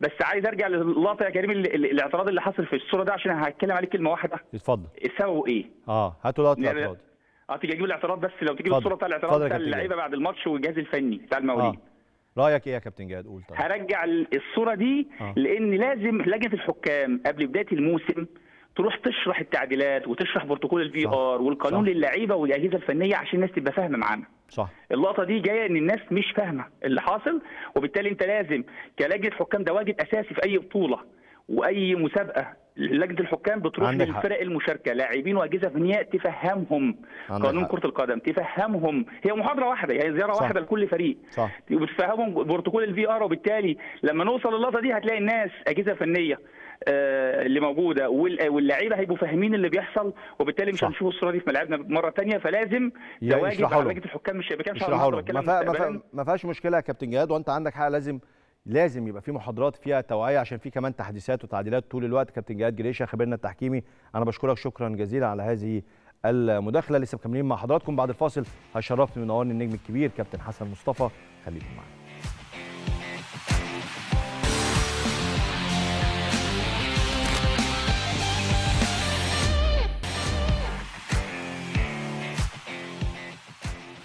يا رب حضراتكم مرة أخرى. حبيبنا كابتن حسن مصطفى ضيفنا في هذه الفقرة كابتن حسن منور الدنيا كالعادة. حبيبي ربنا يخليك يا كيمو. أخبارك إيه؟ كله تمام الحمد كله لله. حلو؟ تسلم ربنا يخليك. الزمالك كان حلو النهاردة والنتيجة حلوة الاثنين ما هو يعني أول شيء طبعا مبروك نادي الزمالك مبروك إن هو صعوده للنهائي و... و... وإن شاء الله ياخد البطولة. بس الواحد برضه إيه ساعات أنا في حاجات كده ساعات بتضايقني شوية. آه. ما بحبش المبالغة في ال... في الاحتفال امم أو الفرحة. مم. أنت النهارده برضه بتلعب فريق متواضع جدا المفروض تكسبه هنا 3 4 وهناك تكسبه 3 4 فده ده العادي ده العادي اللي المفروض نادي الزمالك يعمله. إن أنت تكبر الأمور أنا ما بحبهاش صراحة. ما هكلمك أنا بقى كني إيه أنا كني أنا جمهور الزمالك. هاجي أقول لك إيه والله يا كابتن حسن آه أنا بفرح بفرقتي بقى تكسب فرقة ضعيفة فرقة كبيرة افرح بيها.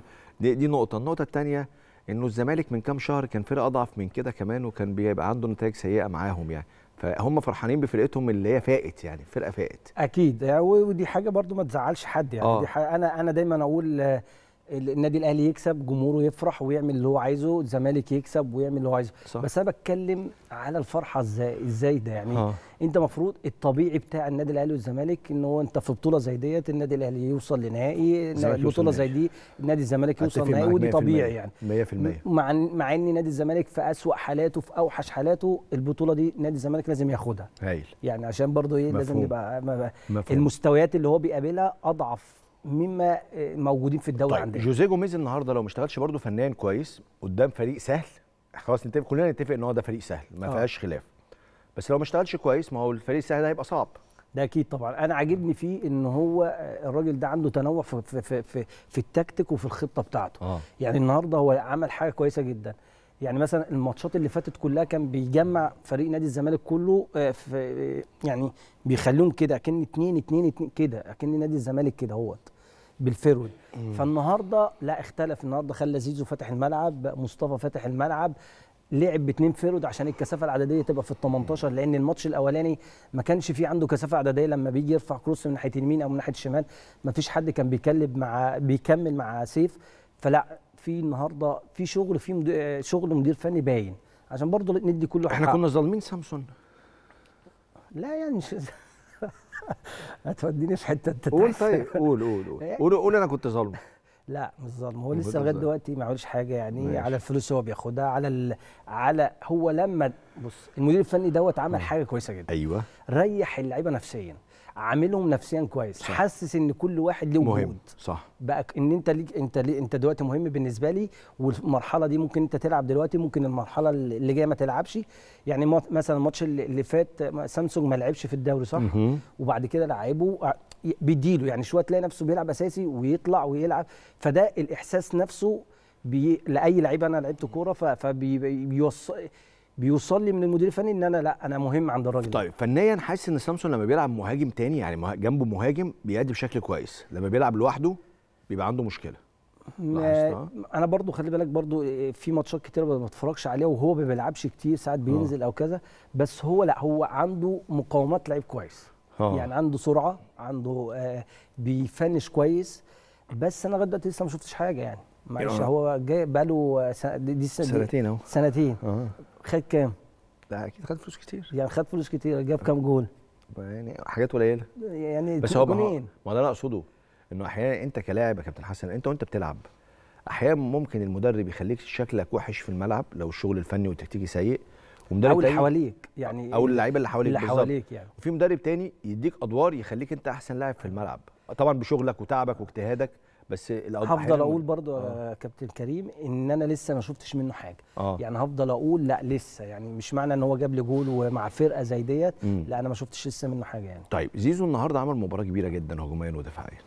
هو يعني الفريق كله صراحة وزيزو طبعا بقى له فترة آه، يعني إصابة. كل شوية يتصاب ويرجع ويتصاب ويرجع.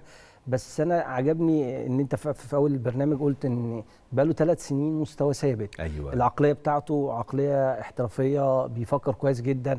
حتى لو مستوى قل شوية بيرجع تاني مش بسرعة. ما بيقعد ما بياخدش ما وقت كتير. وقت طويل. آه بالظبط كده. فديت حاجة كويسة يعني, يعني نوعية لعيب مختلف على اللعيبة اللي موجودة.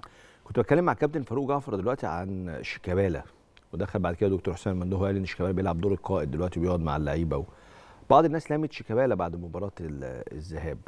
شايف التعامل إزاي يبقى مع شيكابالا وشيكابالا إزاي يتعامل مع الفريق الفترة اللي جاية؟ والله أنا شايف شيكابالا اتغير ب- ب- كتير جدا عما كنت أنا موجود في نادي الزمالك وأنا بلعب معاه. يعني اتغير كتير جدا.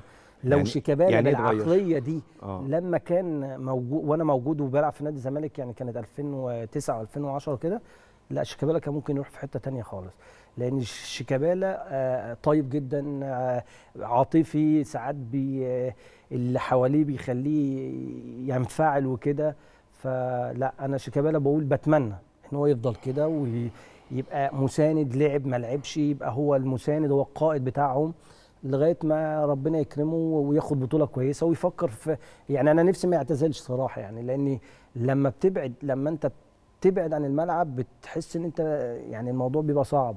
أنت فاهم بس هو يلعب أنا عايزه يلعب في نادي الزمالك وهو يلعب لأن عنده السرعة والقوة والمهارة لغاية دلوقتي أنا حاسس إن هو ما اختلفش عن لما كنت بلعب معاه يعني آه اللي هو ما اتغير يعني لا، حتى لا. مع تقدم العمر ما فيش لا ما مش ح... أنا مشكلة. مش حاسس بالأمور دي طب لو أنت مدرب لنادي الزمالك تبدأ بشيكابالا أساسي ولا تستخدمه في أوقات أخيرة لا في المباراة؟ أستخدمه آه يعني أستخدمه في أوقات آه، معينة وألعبه في ماتشات آه، أنزله فيها وفي أوقات ماتشات كبيرة ألع- يعني أنزله يعني مش الشوط الثاني كده على طول يعني. عواد النهارده عمل مباراة كبيرة وسط مطالبات كثيرة إنه الزمالك محتاج حراس مرمى وعواد وصبحي يمشوا ويبقى في حراس جداد عواد عمل مباراة كبيرة النهارده أكيد. وبقاله فترة آه، ماشي بشكل معقول يعني رأيك إيه لا يعني صراحة عجبني يعني أنا عجبني المباراة ديت بالذات كمان عجبني إن الناس بتنتقده و و و و ورد على الناس ها. رد علينا يعني إحنا مم. إحنا أنا بنتقده لأن. ما فيش حد على يعني ع- يعني عارف أنت لازم كل الناس ننتقدها أنت عملت ماتش كويس هقول لك أنت كويس عملت ماتش وحش هقول لك أنت وحش لا هو ما شاء الله عمل آه، النهارده أداء كويس آه، في كورتين كانوا هيخشوا جونين في نادي الزمالك أو آه، صدها فديت كانت يعني عارف أنت برضو عملت آه، خلت الأداء يبقى كده إن أنت ما يخشش فيك جول. فلا هو ما شاء الله الفترة اللي فاتت آه، آه، الناس كلها بتتكلم عنه وحش الناس كلها بتنتقده وهو ساكت لغاية ما أدى أداء كويس. وبتمنى إن هو يستمر على الأداء دوت. طيب النهارده الزمالك وسط فرحة وثلاثية والأمور حلوة وماشية كويس واصل فاينل. مصطفى شلبي راح احتفل بطريقة ما. وأنا قلت في المقدمة لو أنت سمعتني أنا مش هقدر أخش في النوايا. فيعني هو وارد تكون حركة سيئة وارد يكون حركة مش مقصودة. وسألت الدكتور حسام المندوه وقال لي هنشوف طبعا الأمر ولو في خطأ هنعاقب وهيبقى في آه، حاجة. أنا بس بسألك أنت راجل بقى أنت خبير يعني أنت لعيب كبير يعني. ليه اللعيبة بقت بتحتفل كده؟ يعني ليه تحتفل الاحتفال اللي هو إيه؟ يحمل معنيين. معنيين. يعني لو أنا قلت مثلا دلوقتي قلت لك مصطفى شلبي النهارده عمل كارثة الناس تطلع تقول لي انت دخلت في نوايا. طب لو قلت ان هو ما عملش كارثة هيقول لي هو انت بت بتطبله. يعني عارف انت انت بتحطنا كلنا وبتحط نفسك في مكانة مش صح. هو أنا مش عارف يعني يعني هو آه، اللعيبة عايزة إيه؟ آه. أنتوا عايزين يعني أنتوا وحشين و- و- وبتلعبوا في أندية كبيرة و- والناس كلها ما تتكلمش عنك إن أنت وحش. أنت اما بتلعب كويس كل الناس بتقول إن أنت لعيب كويس. إما بتلعب وحش لازم كل الناس تنتقدك. إيه المشكلة؟ هو انت لازم تعمل لنا بصبعك كده وتروح تعمل لنا مش عارف لمين يعني؟ هتعمل لمين يعني؟ هنفضل نتكلم عليك لو انت وحش هنقول لك انت وحش. لما تجيب جول وتبقى لعيب كويس هنبقى فرحانه فرحانين لك. هو إحنا في ما بيننا وما بينك حاجة؟ يعني معلش يعني أنا أنا في حاجات مضايقاني في موضوع اللعيبة في الاحتفالات. واحد يعمل حركة كده كذا وده كده. يعمل حركة كذا. أنتوا إيه يعني؟ مش فاهم يعني. أنتوا بتنتقدوا أساسا لعيبة لعبت أو بتتكلم عليكم لعيبة لعبت وعندها تاريخ كبير يعني.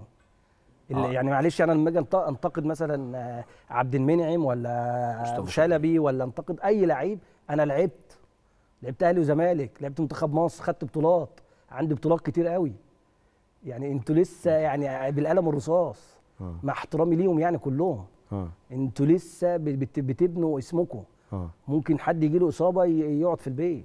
إحنا تعبنا قوي عقبال ما نطلع نتكلم عنكم كويس أو وحش. حلو. أنا بص أنا أنت راجل أنت نفسك وأنت في الملعب كنت أحيانا تتعصب أو أكيد. تخرج عن شغلك. دي, دي لعبة. ده أدرينالين بيطلع وفي حماس وفي إثارة وفي عصبية وفي كل الكلام ده. بس لما يكون حد قصادك هو اللي بي- بيهاجمك. صح كده. بس هو ده اللي أنا أقصده بقى أما إنه أنت في جمهور مثلا مثلاً- في جو يعني مثلا مثلا يعني وكنت دايما ألوم على شيكابالا بالمناسبة. يجي يقول لك بس شيكابالا أصل الجمهور هاجمه وشتمه وبتاع. فبقول إيه ما أحيانا ممكن لكل فعل رد فعل. اللعيب بيطلع عن شغله وإن كان هيفضل اللعيب هو اللي غلط. غلطان مش. الجمهور. يعني أي لعيب. بيطلع عن شغله هو غلطان. ده غلط. بس على الأقل فهمت في رد فعل في لا فهمت سببه أيوة اللي. خلاه يعمل كده حتى لو أنا مش قابل السبب. تمام صح. أنت بقى التاني ده ولا التالت ولا الرابع ولا الخامس أنت هتعمل كده ليه؟ وبرضه أنا مش قادر أدين يعني أنا ما قدرتش أدين محمد عبد المنعم عشان هو كمان الراجل وضح والدكتور بتاع النادي الأهلي ثبت والله على لو كلامه. وضح يعني من هنا لغاية بكرة حاجة وحشة. ما هو تاني يا كابتن حسن أنا أقصد إيه؟ عارف هي المشكلة فين؟ هل حضرتك دخلت في نوايا؟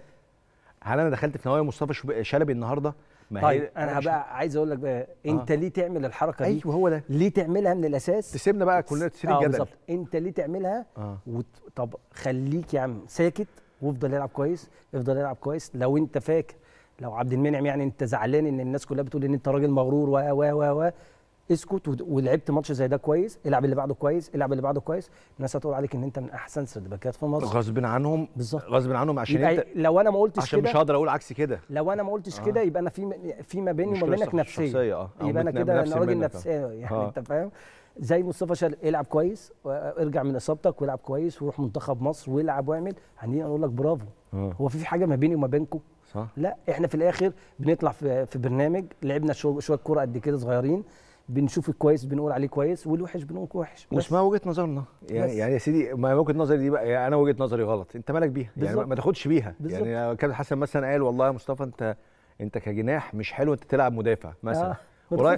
أنت شفت إنه الكلام ده كلام مش صح براحتك يعني أنا مش بالظبط. أنا مش أنا هنزل ألعبك مدافع أنا مش مدربك أيوه بالظبط في؟ المدرب هو اللي مقتنع بيك هو اللي هيقعدك وهو اللي هيلاعبك ومش لازم كل واحد لازم يبص للترند مش كل واحد لازم يعمل حاجة جدل عشان الناس تقول له برافو عليك أو يعمل شو كده آه، للناس عشان في الآخر الناس تقعد تتكلم عليه.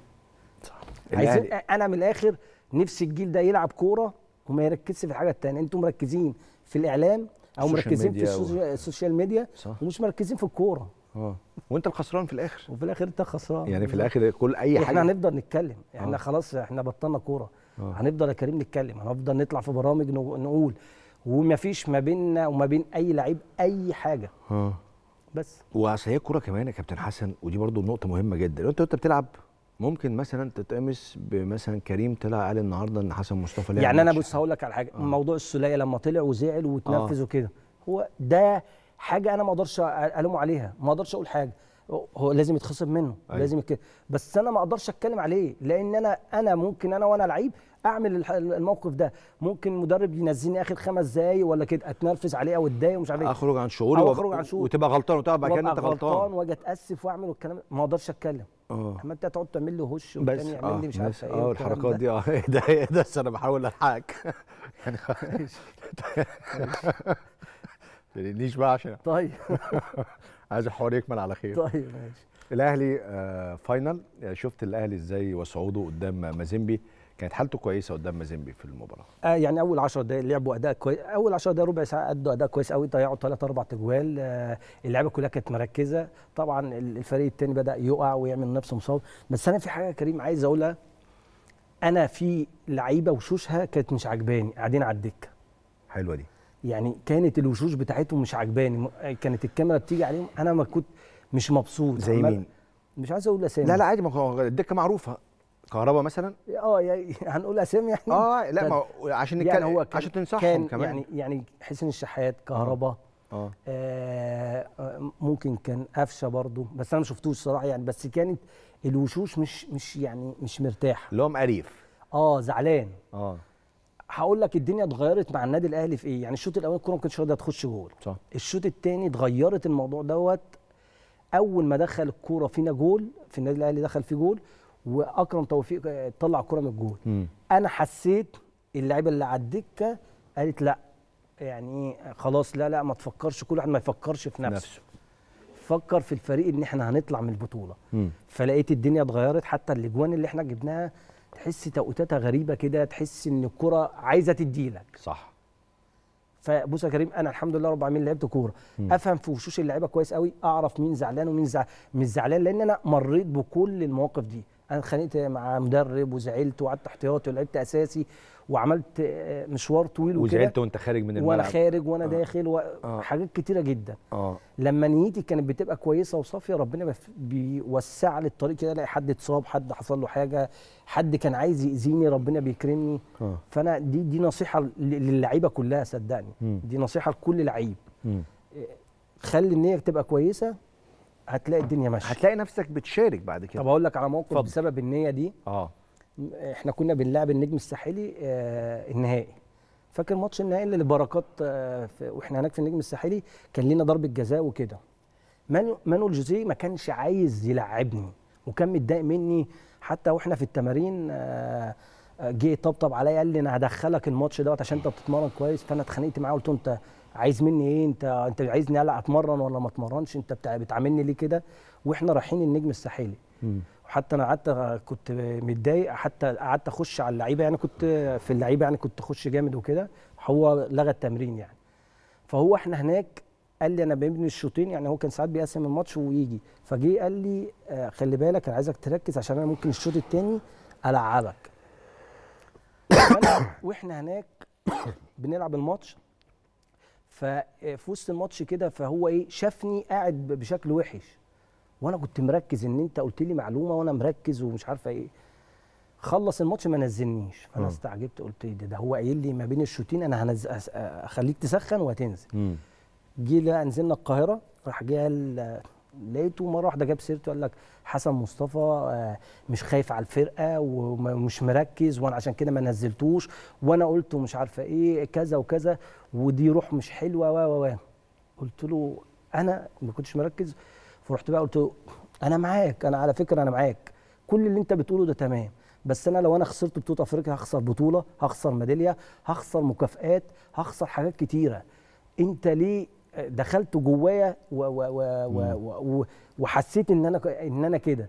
فراح بعدها راح باصص لي كده وخدني على جنب قال لي طب أنا آسف ومعلش. والله. يا والله اتأسف لي. قال لي أنا أنا شفت شكلك كده إن أنت كانت نيتك مش عارفة إيه. قلت له ما تخشش جوايا. أنا كنت مركز جدا لأن أنت قلت لي أنا ما بين الشوطين أنا هنزلك. فأنا كنت مركز قوي. حتى لما بركات راح للكورة ورقص واحد والبلانتي كان لنا بلانتي هناك. طبعا. فما ما رضاش ال- الحكام كنت حاسس إن هم عايزين يدوا النجم الساحلي البطولة دي يعني فاهم في الآخر فهو ده الموقف آه. للنوايا يعني صحيح كابتن حسن شرفت ونورت ودايما الحوار معاك حلو ولذيذ وبيخلص بسرعة أنا بشكرك حبيبي يا جزيلاً. ربنا يخليك. حبيبي شكرا حبيبي جزيلا. لسه مكملين مع حضراتكم بعد الفاصل الزملاء الأعزاء محمود شاكر ومحمد خليفة خليكم معانا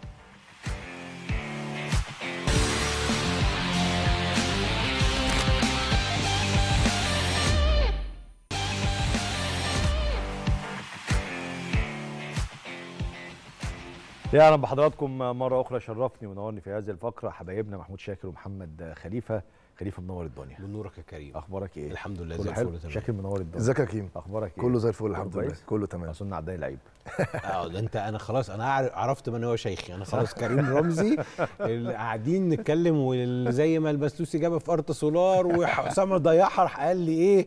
راح قال لي إن شاء الله البسوسي يجيبها في العودة. بتفرج على العودة أول 10 دقائق خلاص. وبعدين هي مش دي الحادثة الأولى أنا بتحصل معايا حوادث مع كريم. خلاص داريها بقى مش. هينفع أقول بس يعني فيها. توقعات محدش كان يتوقعها وبتحصل. جت سليم شفت الماتش إزاي النهارده؟ أو إيه اللي أكتر حاجة عجبتك في الماتش النهارده؟ عشان ما نضيعش وقت آه، الناس وأنا عشان كده آه، دخلتك على خلينا نخش إن محاضرة جوميز كانت ظاهرة في الثلاث أهداف. نشرح إزاي محاضرة جوميز كانت ظاهرة في الثلاث أهداف. نبدأ بالهدف الثاني محاضرة جوميز قال إيه؟ نسمع هناخد بس يعني إيه اللي هو مش ثواني. جاهز لسه بس قول لنا الجزئية. تمام. آه. الراجل كان بيقول لسامسون خد مكان الجزيري هيتحرك أول ما سامسون يلف كده مع المدافع الجزيري يدخل. أو الجزيري لما يبقى واخد هو المدافع سامسون يهاجم المساحة. ده الفيديو. آه. لو الحالات ظاهره نبدأ على طول بالصور شباب لو الفيديو أهو يلا ورينا الفيديو. يلا ورينا الكلمتين اللي قالهم ورينا الفيديو I want to see إيه التاني؟ Shalab and Zizou. عاوز أشوف عاوز أشوف شلبي وزيزو بره I الملعب want to الونجات see Omar and Fatih وعمر فتوح جوه الملعب involved in the attack there. نهاجم من جوه You have always Ziad and Donga كانوا دونجا behind the behind the ball, تحت الكورة. solution to put the ball moving بيخلوا بيحركوا الكورة ويدوك حلول. سامسون and جزيري سامسون وجزيري one go one ass one go one ass واحد بيروح واحد بيروح يستلم الكورة. سامسون make a movement والمدافع اسمر الجزيري يروح. الجزيري makes a movement الجزيري راح. بس انت defend following المساحة معاه. go in the space سامسون يروح للمساحة. go to the goal خلينا بقى نشوف الجون الثاني جه إزاي بالصور يلا. عشان نبقى رابطين. سامسون عمل دور كويس في إن هو قطع الكورة. الصور يا شباب بقى على طول. آه.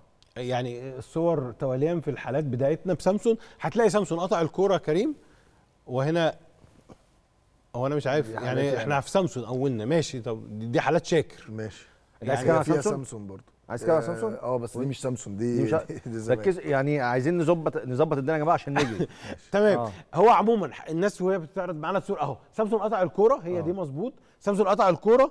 وراح الباص بعد كده هو الجزيري وهو بياخد المساحة سامسون كان هو واخد المساحة. هنا نعرض الصور سريعا مش عايزين نقف والصور بتتعرض.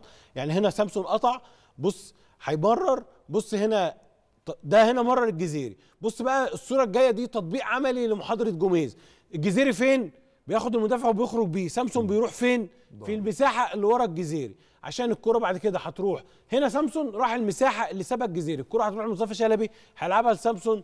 هتكون هي دي الهدف الثاني لنادي الزمالك. ده ببساطة. مش عايزين بقى بقيه حالات سامسون. كان له دور كبير جدا في قطع الكرات والضغط.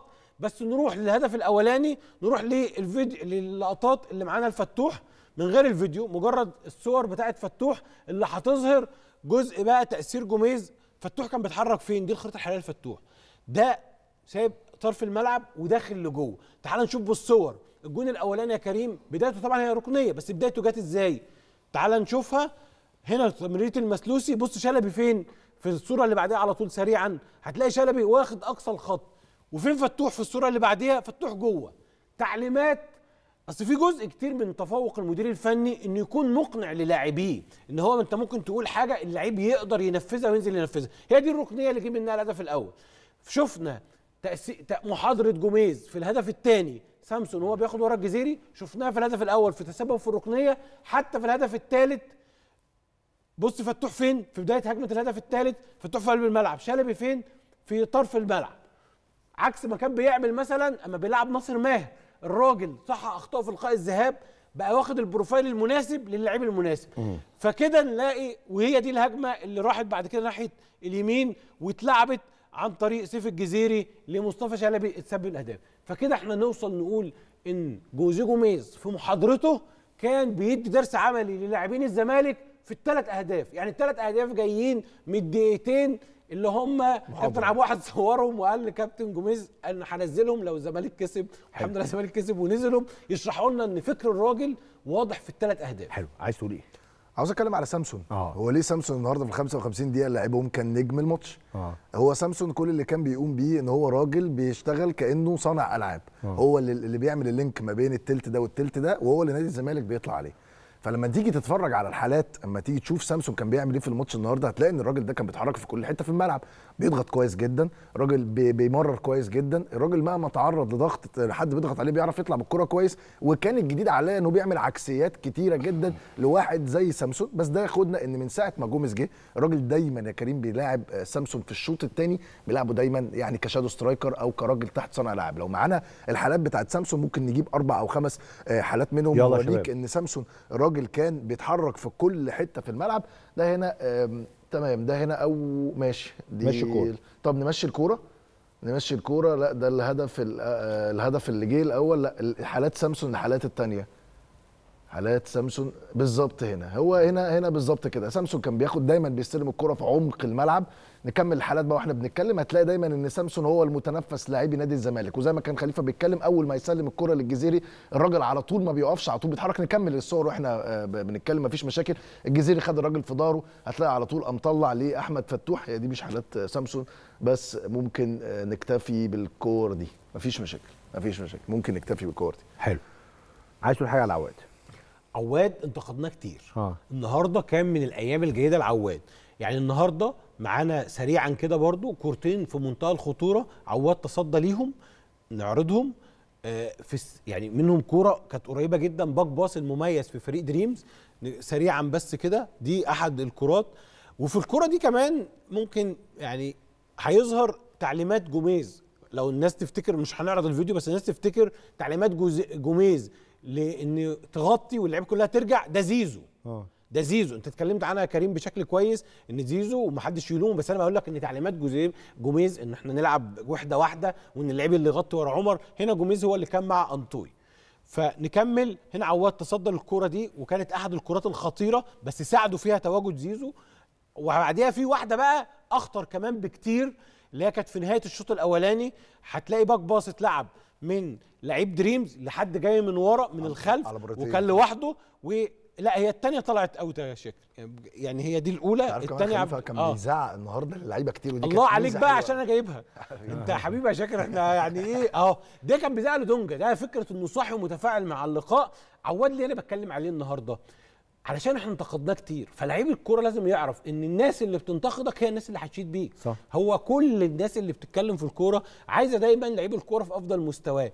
في اليوم السيء برضو الانتقاد بيبقى مفهوم. عن. طريق إن أنا هشاور لك عليه عشان تصلحه في اليوم الجيد. النهارده عواد كان من الأيام الجيدة ليه فيستحق إن إحنا نتكلم عليه لأن هو قدم مباراة جيدة. طيب حد عايز يقول حاجة تانية على الزمالك عشان أروح لفاصل وأرجع للأهلي؟ هقول بس إجابة إن شحاتة آه في تأثيره كان كبير جدا وأفضل تغييرات الزمالك آه، في اللقاء. شحاتة كان ليه تأثير كبير جدا على مجريات اللقاء أرقام الفريق الزمالك.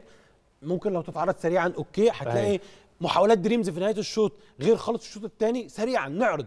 امتلاك الكرة للزمالك ده ده محاولات الزمالك نفسها زادت جدا في الشوط الثاني. نعرض اللي بعديها هتلاقي امتلاك الكرة لعيب خط النص ده من أهم حاجة اخت... امتلاك الكرة للزمالك في الشوط الثاني اللي هو باللون الرمادي. واضح إنه اتحسن جدا في الشوط الثاني. عدد باصات الزمالك ات- اتضاعفت. كل شيء في الزمالك في امتلاك الكوره ساهم فيه طبعا النتيجة لكن شحاتة كان مميز جدا. اللقطة دي كانت في الشوط الأول اتقطعت من زياد كمال وأعتقد إن هي سبب من أسباب تغيير زياد كمال اللي كان مش موفق النهارده. نتمنى له التوفيق لأن هو لسه في بداية مشواره مع الزمالك وده أول لقاء يبدأه. أكيد ما كانش في أفضل حالاته لأن اللقاء كان صعب بالنسبة له أجواء أفريقية. لكن عليه إنه يتعلم من أخطائه. اللعب في الزمالك والأهلي صعب الفرصة ما بتيجي. أرقام شحاتة بتميز ميزة هو من أكتر اللاعبين اللي حصلوا وقطعوا الكرات رغم إنه نزل في الشوط الثاني متواجد في الليستة يعتبر ثالث أو رابع لاعب قطع الكرات رغم إنه لعب الشوط الثاني بس. فدي شهادة جودة النهارده شحاتة كان من نجوم الشوط الثاني وكان نقطة تحول في الزمالك. كده خلصت اللي عندي. حلو قوي عشان أسيب شاكر. لا شاكر شاكر عنده حاجات للاهلي قد طبعا. وبعدين برضه عايز أقول لحضراتكم إن شاكر جاي لنا النهارده وهو تعبان جدا يعني الشكل اللي أنتم شايفينه دوت طبعا أنتم متعودين على شاكر في صوت كده بيصرخ في المكان. فالنهارده هو هبطان شوية في وإحنا نيجي نيجي هنا في أي وقت والله. ألف سلامه عليك حبيبي يا كريم ربنا يخليك. حبيبي. لسه مكملين مع حضراتكم بعد الفاصل. محمود شاكر معاه حالات مهمة جدا عن مباراة الأهلي ومازيمبي. خليكم معانا.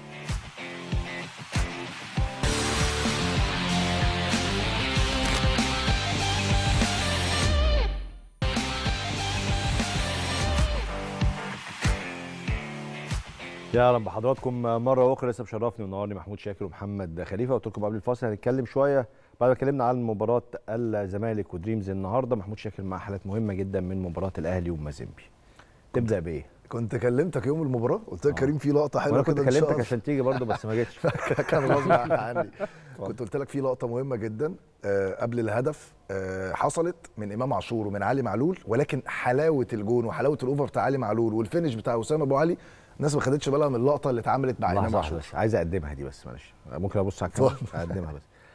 محمود أول ما الجول جه اللي هو آخر جول أو الجول بتاع أسامة أبو علي اللي إمام عاشور إدى. لعلي معلول لعلي معلول إدى لأسامة أبو علي كلمني في التليفون بعدها على طول قال لي في لقطة مليون جنيه لقطة ما حدش خد باله منها خالص. قلت له بقول لك إيه أنا مش هقولها النهارده أنا هستناك لما تبقى معايا.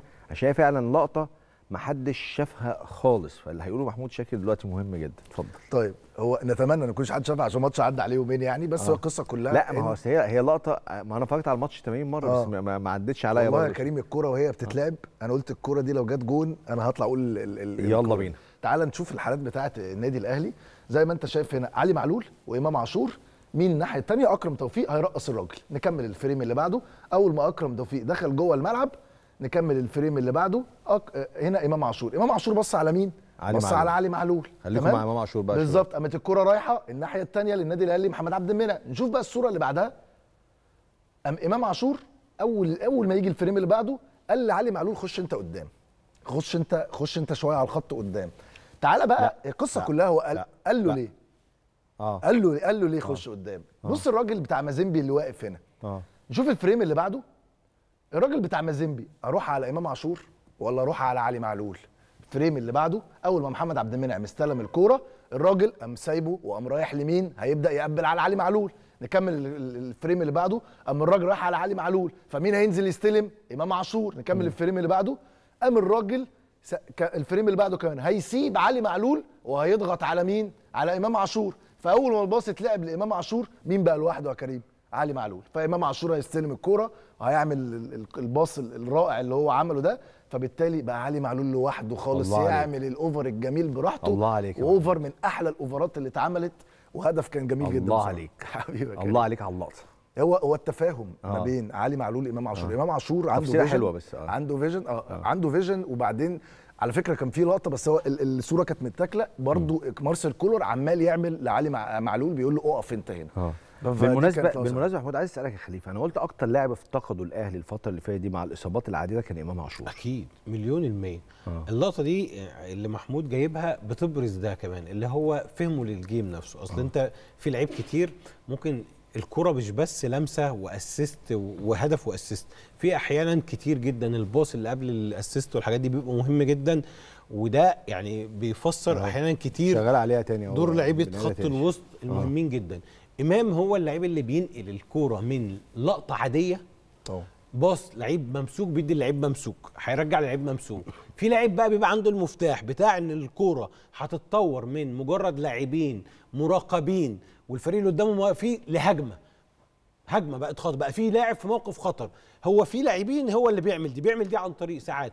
تحمل الكورة وتعدي بيها أو تعمل باص تقدمي بيكون مطلع لعيب من الرقابة. فهي دي الفكرة بتاعت اللي إمام عملها في الكورة اللي زي دي.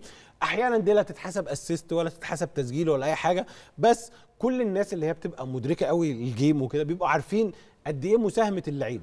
الأهلي نوعية اللعيبة اللي في خط الوسط ما فيهمش حد بيعمل اللي بيعمله إمام عاشور. عشان كده أكتر حاجة تفتقده أنا عايز أقول لك على حاجة حسين الشحات لعيب مهم جدا. طبعا. بس الاهلي عنده. رضا سليم وعنده بيرسي تاو. حتى لو أقل فهم نفس. ال- نفس, نفس ال- ال profile. بيقدروا يجيبوا جوان وبيقدروا يدخلوا لجوه الملعب بس مش بنفس ممكن ال quality بتاعت آه حسين. بس هنا أنا أقدر أعوضه. أعوضه باحمد عبد ايا كان. انما لو تبص لل style اللي بيلعب بيه امام عاشور ووسط اللعيبه اللي موجوده في الاهلي اللي هو كريم نيدفيد كوكا آه آه ديانج. ديانج مروان عطيه وعمرو السوليه وكل- كلهم آه. ينفعوا يلعبوا مع امام. انما مين اللي يركب مع امام؟ لازم تدور على تركيبه تانية لخط الوسط. عشان. كده هو فعلا كان أهم لاعب يفتقده الأهلي. إيه تاني من الأهلي؟ آه هدايا مجانية. آه، كانت. ممكن تكلف النادي الأهلي كتير جدا. وبما إن النادي الأهلي راح يلاعب الترجي التونسي فحذاري كل الحذر من الهدايا المجانية اللي لعيبة النادي الأهلي خصوصا رامي ربيعة اداها المازيمبي في الماتش. في لقطة مهمة جدا أو لقطتين مهمين جدا. معلش يا كريم أنا أنا متفاهم جدا إن في تفاصيل صغيرة والكرة تفاصيل بس التفاصيل دي كانت مهمة جدا. يلا بينا. تعال نتفرج على الكرة دي. دي في الدقيقة 56 كم لاعب من النادي الأهلي ضاغط على اللعيب بتاع مازيمبي؟ اللي عليه العلامة الحمراء دي رامي ربيعة مع لعيب من مازيمبي بعد كده أكرم توفيق وأحمد نبيل كوكا ومحمد هاني. ال frame بقى اللي بعده؟ أدي أهو الراجل ظهره للجون وشه للخط مفيش أي نوع من أنواع ان هو ممكن يعمل أي حاجة. رامي ربيعة ضغط ضغط ضغط ضغط ضغط ضغط ضغط. أنا والله كريم قاعد بتفرج ماتش من غير فاول من غير فاول من غير فاول من غير فاول. أدي فاول حصل فاول. ارجع بقى الفريم الأولاني خالص. ال frame الأول أول أول حتة فيها خالص اللي فيها الدواير بص على شكل بتاع مازيمبي عامل إزاي وشكل لعيبة النادي الأهلي عامل إزاي. تعالى بقى نروح للصورة ال- ال- اللي بعد الفاول. أنت بتقدم له حل هنا في الحالة دي. ما أنا بقول له حل. أنت بص بقى كريم عمل إيه؟ ال f- ال frame اللي بعده بص بقى قام حصل فاول. أدي الفاول اللي جه منه الهدف اللي ألغي على النادي الأهلي. ادي غلطة دي كانت. ممكن تكلفك كتير جدا وفي تونس ما حدش يرحمك ده بقول الجول. دايما الفرق الكبيرة تبقى بخيلة جدا في أيوة، الكرات. الثابته لو أنت راكب ال game بس- انت بس أنا عايز انت بتديله آه. انت بتديله advantage بتديله صح. أفضلية انه طب تعال نشوف الكرة التا... ده الهدف اللي جه والغي ده تعال نشوف. الكرة الثانية نفس الكرة برضو مازيمبي بيعلق كوره مفيش أي شكل من خطورة المازيمبي غير من الكوره الثابتة نكمل الكرة اللي بعدها هنا الكرة نطت رامي ربيعة هنا. أنا بمنتهى البساطة ممكن أطلع بدماغي وأنا سابق أطلع الكرة في الأوت. رامي ربيعة عمل risk غريب جدا كمل الكرة اللي بعدها. أما الراجل طلع شايط برجله ونازل برجله على الراجل وكان ممكن كان ممكن يبقى فيها ضربة. جزاء. طب الكرة دي طلعت كورنر. تعال نشوف الكورنر جه منه يا كريم. نكمل بقى. بص هنا هو كان ممكن يطلع بدماغه ويطلعها في الأوت. قام طلع ونزل على الراجل وممكن حاجات زي كده تحصل. الحكم يقول لك حسبها أصل الالتحام والكلام ده كله. أول ما الكرة طلعت كورنر أدي الكورنر اللي اتلعب. اللي مين اللي شاله يا كريم؟ اكرم توفيق. كل ده في خمس دقائق في أول الشوط الثاني فأنت هنا بتتكلم نادي الأهلي كان بيتعادل 0 0 لو الأمور كانت 1 0 من واحدة من الكورتين دول كان الموضوع بقى زي عارف ليه بقى يا كريم؟ آه. السنة اللي فاتت الوداد. آه. كل مصر قبل المباراة بتقول لك إيه؟ بلاش النادي الأهلي يعمل فاولات. في طرف الملعب عشان يحيى عطية الله اللي أوفرات اللي بيعملها. وعلي معلول عمل فاول في أول تلت ساعة واللي جه منه هدف الوداد. فحذاري كل حذر من الهدايا المجانية اللي انت ممكن فريق مش قادر يوصل لك فانت بالتالي بتدي له ادفانتج ان انت بس كره ثابتة كان طلع كله بس. النقطه برضو يا محمود أحيانا أنت بتبقى مجبر يعني لعيب مثلا راوغك وهيبقى حاجة خطر بالظبط. أنا معاك ماشي. يعني الفاولات جزء ما أنت طبعاً، مفيش فرق مش طبعاً. هتقدر تعمل بس. هو قال لك مش بس اللي مجانية. هو محمود بيقوله ده مهم جدا ما تبقاش أنت كريم في إعطاء الفاولات وخصوصا لو راكب الجيم في أحيانا لو أنت اللي بتدافع آه، ما- ماشي آه، اعمل مخالفة صح. بدل ما فكرنا بحاجة. هفكرك بحاجة سريعة. آه. ماتش مصر والأوروجواي. آه. الجون اللي آه دخل. في مصر الفاول. حقيقي. محمد عبد الشافي الراجل بتاع الأوروجواي مدي ظهره للجون ووشه للخط. محمد عبد الشافي خبط الراجل. حصل فاول اللي جه منه جون بتاع الأوروجواي وانت طول الماتش عمال بتعافر. فده اللي أنا بكلمك تفاصيل صغيرة في النهائيات مع فرق شمال أفريقيا لازم عارف بمناسبة التفاصيل الصغيرة دي آه رامي ربيعه هو أعلى تقييم في الأهلي في المباراتين يعني التقييم في مباراة الذهاب ومباراة العودة هو عمل مباراتين جيدين جيدتين جدا. بس أنت تقول نقطة مهمة جدا إن ممكن شغلك وتعبك في المباراة كله يروح بغلطة زي ديت بغلطة بسيطة جدا تخلص لك الحكاية خالص. عايز تقول حاجة على علي معلول آه آخر حاجة. يعني بصراحة بيها. آه، علي معلول آه، أسطورة أهلاوية لعيب آه، يعني كنا محظوظين إن علي معلول جه لعب في مصر. القصة كلها هو إيه اللي بيفرق علي معلول عن أي حد في القارة كلها؟ إن مم. علي معلول لعيب ذكي وعمره ما بيطلع الكوره من رجله من غير ما بيرفع عينه. تعال نشوف بعض اللقطات في مباراة النادي الأهلي. الراجل على طول. هنا دي اللقطة بتاعت الجو الكره بتاعت عمرو السولية اللي اتصدت. أول ما أكرم توفيق هيلعب الكورة لعلي معلول. علي معلول أول ما استلم الكورة لازم لازم على طول أهو هنا بس الكادر القريب هيبينها الراجل قام باصص أول ما بص لقى مين رفع إيده. عمرو السولية. هيقوم لاعب. الكورة. لا هيبقى لاعب الكورة لعمرو السولية. اللي قبلها كان عمرو السولية رافع آه. إيده. بص بقى من الزاوية القريبة الفريم اللي بعده على طول هتلاقي بص علي معلول استلم الكورة. ال frame اللي بعده رفع عينه. لازم يرفع عينه. آه. نكمل بقى الكورة اللي بعدها. قام رفع ال over لعمرو السولية فكرة ده مش كتير الحركة الهجمات- دي. لا هو الوحيد. ده أنا أنا جايب لك لقطة في آخر الفيديو برضو مهمة جدا. نفس الكلام هنا ده الهدف. أول ما علي معلول استلم وشه للأرض. أول ما هيستلم الكورة نكمل ال frame وإحنا بنتكلم. أول ما علي معلول هيستلم الكورة لازم على طول أهو عمل ال scan عشان أبقى عارف أنا بلعب الكورة فين. وهو ده اللي مخليه أكتر واحد عمل assist في النادي بص وسام رفع طبعا لا وسام كده وسام مادد إيده لا وسام مادد إيده وسام مد إيده ويلعبها لي على البعيده آه. وطلعوا بعد المط... بعد الماتش قال إن هو كان متفق مع علي معلول أنت العب لي الكوره خلاص في ظهر المدافع. أدي الأوفر اللي اتعمل من علي معلول ووسام أبو علي. قام طلعها. برده جايب لك كادر قريب يوريك القيمة بتاعت هنا. طبعا الباص بتاع إمام عاشور أول ما استلم لازم يبص يا كريم. طب هو علي معلول بيعمل الكلام ده من دلوقتي؟ علي معلول بيعمل الكلام ده يا جماعة من زمان قوي قوي. قوي قوي قوي قوي تعال نشوف لقطة مهمة جدا في ماتش الأهلي والترجي 2-1 كابتن حسام البدري. الكرة دي اللي جابها اجاييه نفس الكلام. علي معلول كان على الطرف اليمين خالص. استلم الكورة قبل ال frame اللي قبله. بص ال frame اللي قبله. قبل ما ي... هو بص. قام على طول ال frame اللي بعده. قام هيرفع ال over لمين لجو... لجونيور اجاييه هنا بالظبط هنا زي ما بقول لك استلم الكورة. بص قام رفع الكوره لجونيور اجاييه وجاب جون كان الجون ده في 2017 الراجل ده عنده ذكاء أنا ما شفتوش بصراحة في باكات ليفت كتيرة جدا. وعلي معلول بجد بعد ما يبطل كورة جماهير النادي الأهلي هتحس بفراغ مش طبيعي لأن هو بجد لعيب ممتع. محمود شرفت ونورت. شكرا كريم. أنا بشكرك شكرا جزيلا. خليفة شرفت ونورت وبشكرك شكرا جزيلا. لينا حلقات تانية بعد كده نتكلم على الزمالك ونهضة البركان وان شاء الله. الأهلي والترجي إن شاء الله. نهائي دوري أبطال أفريقيا ونهائي الكونفدرالية. عموما ألف مليون مبروك للنادي الأهلي ألف مليون مبروك لنادي الزمالك. شرفتونا. نهاية حلقتنا النهارده. أشوفكم يا رب على ألف خير.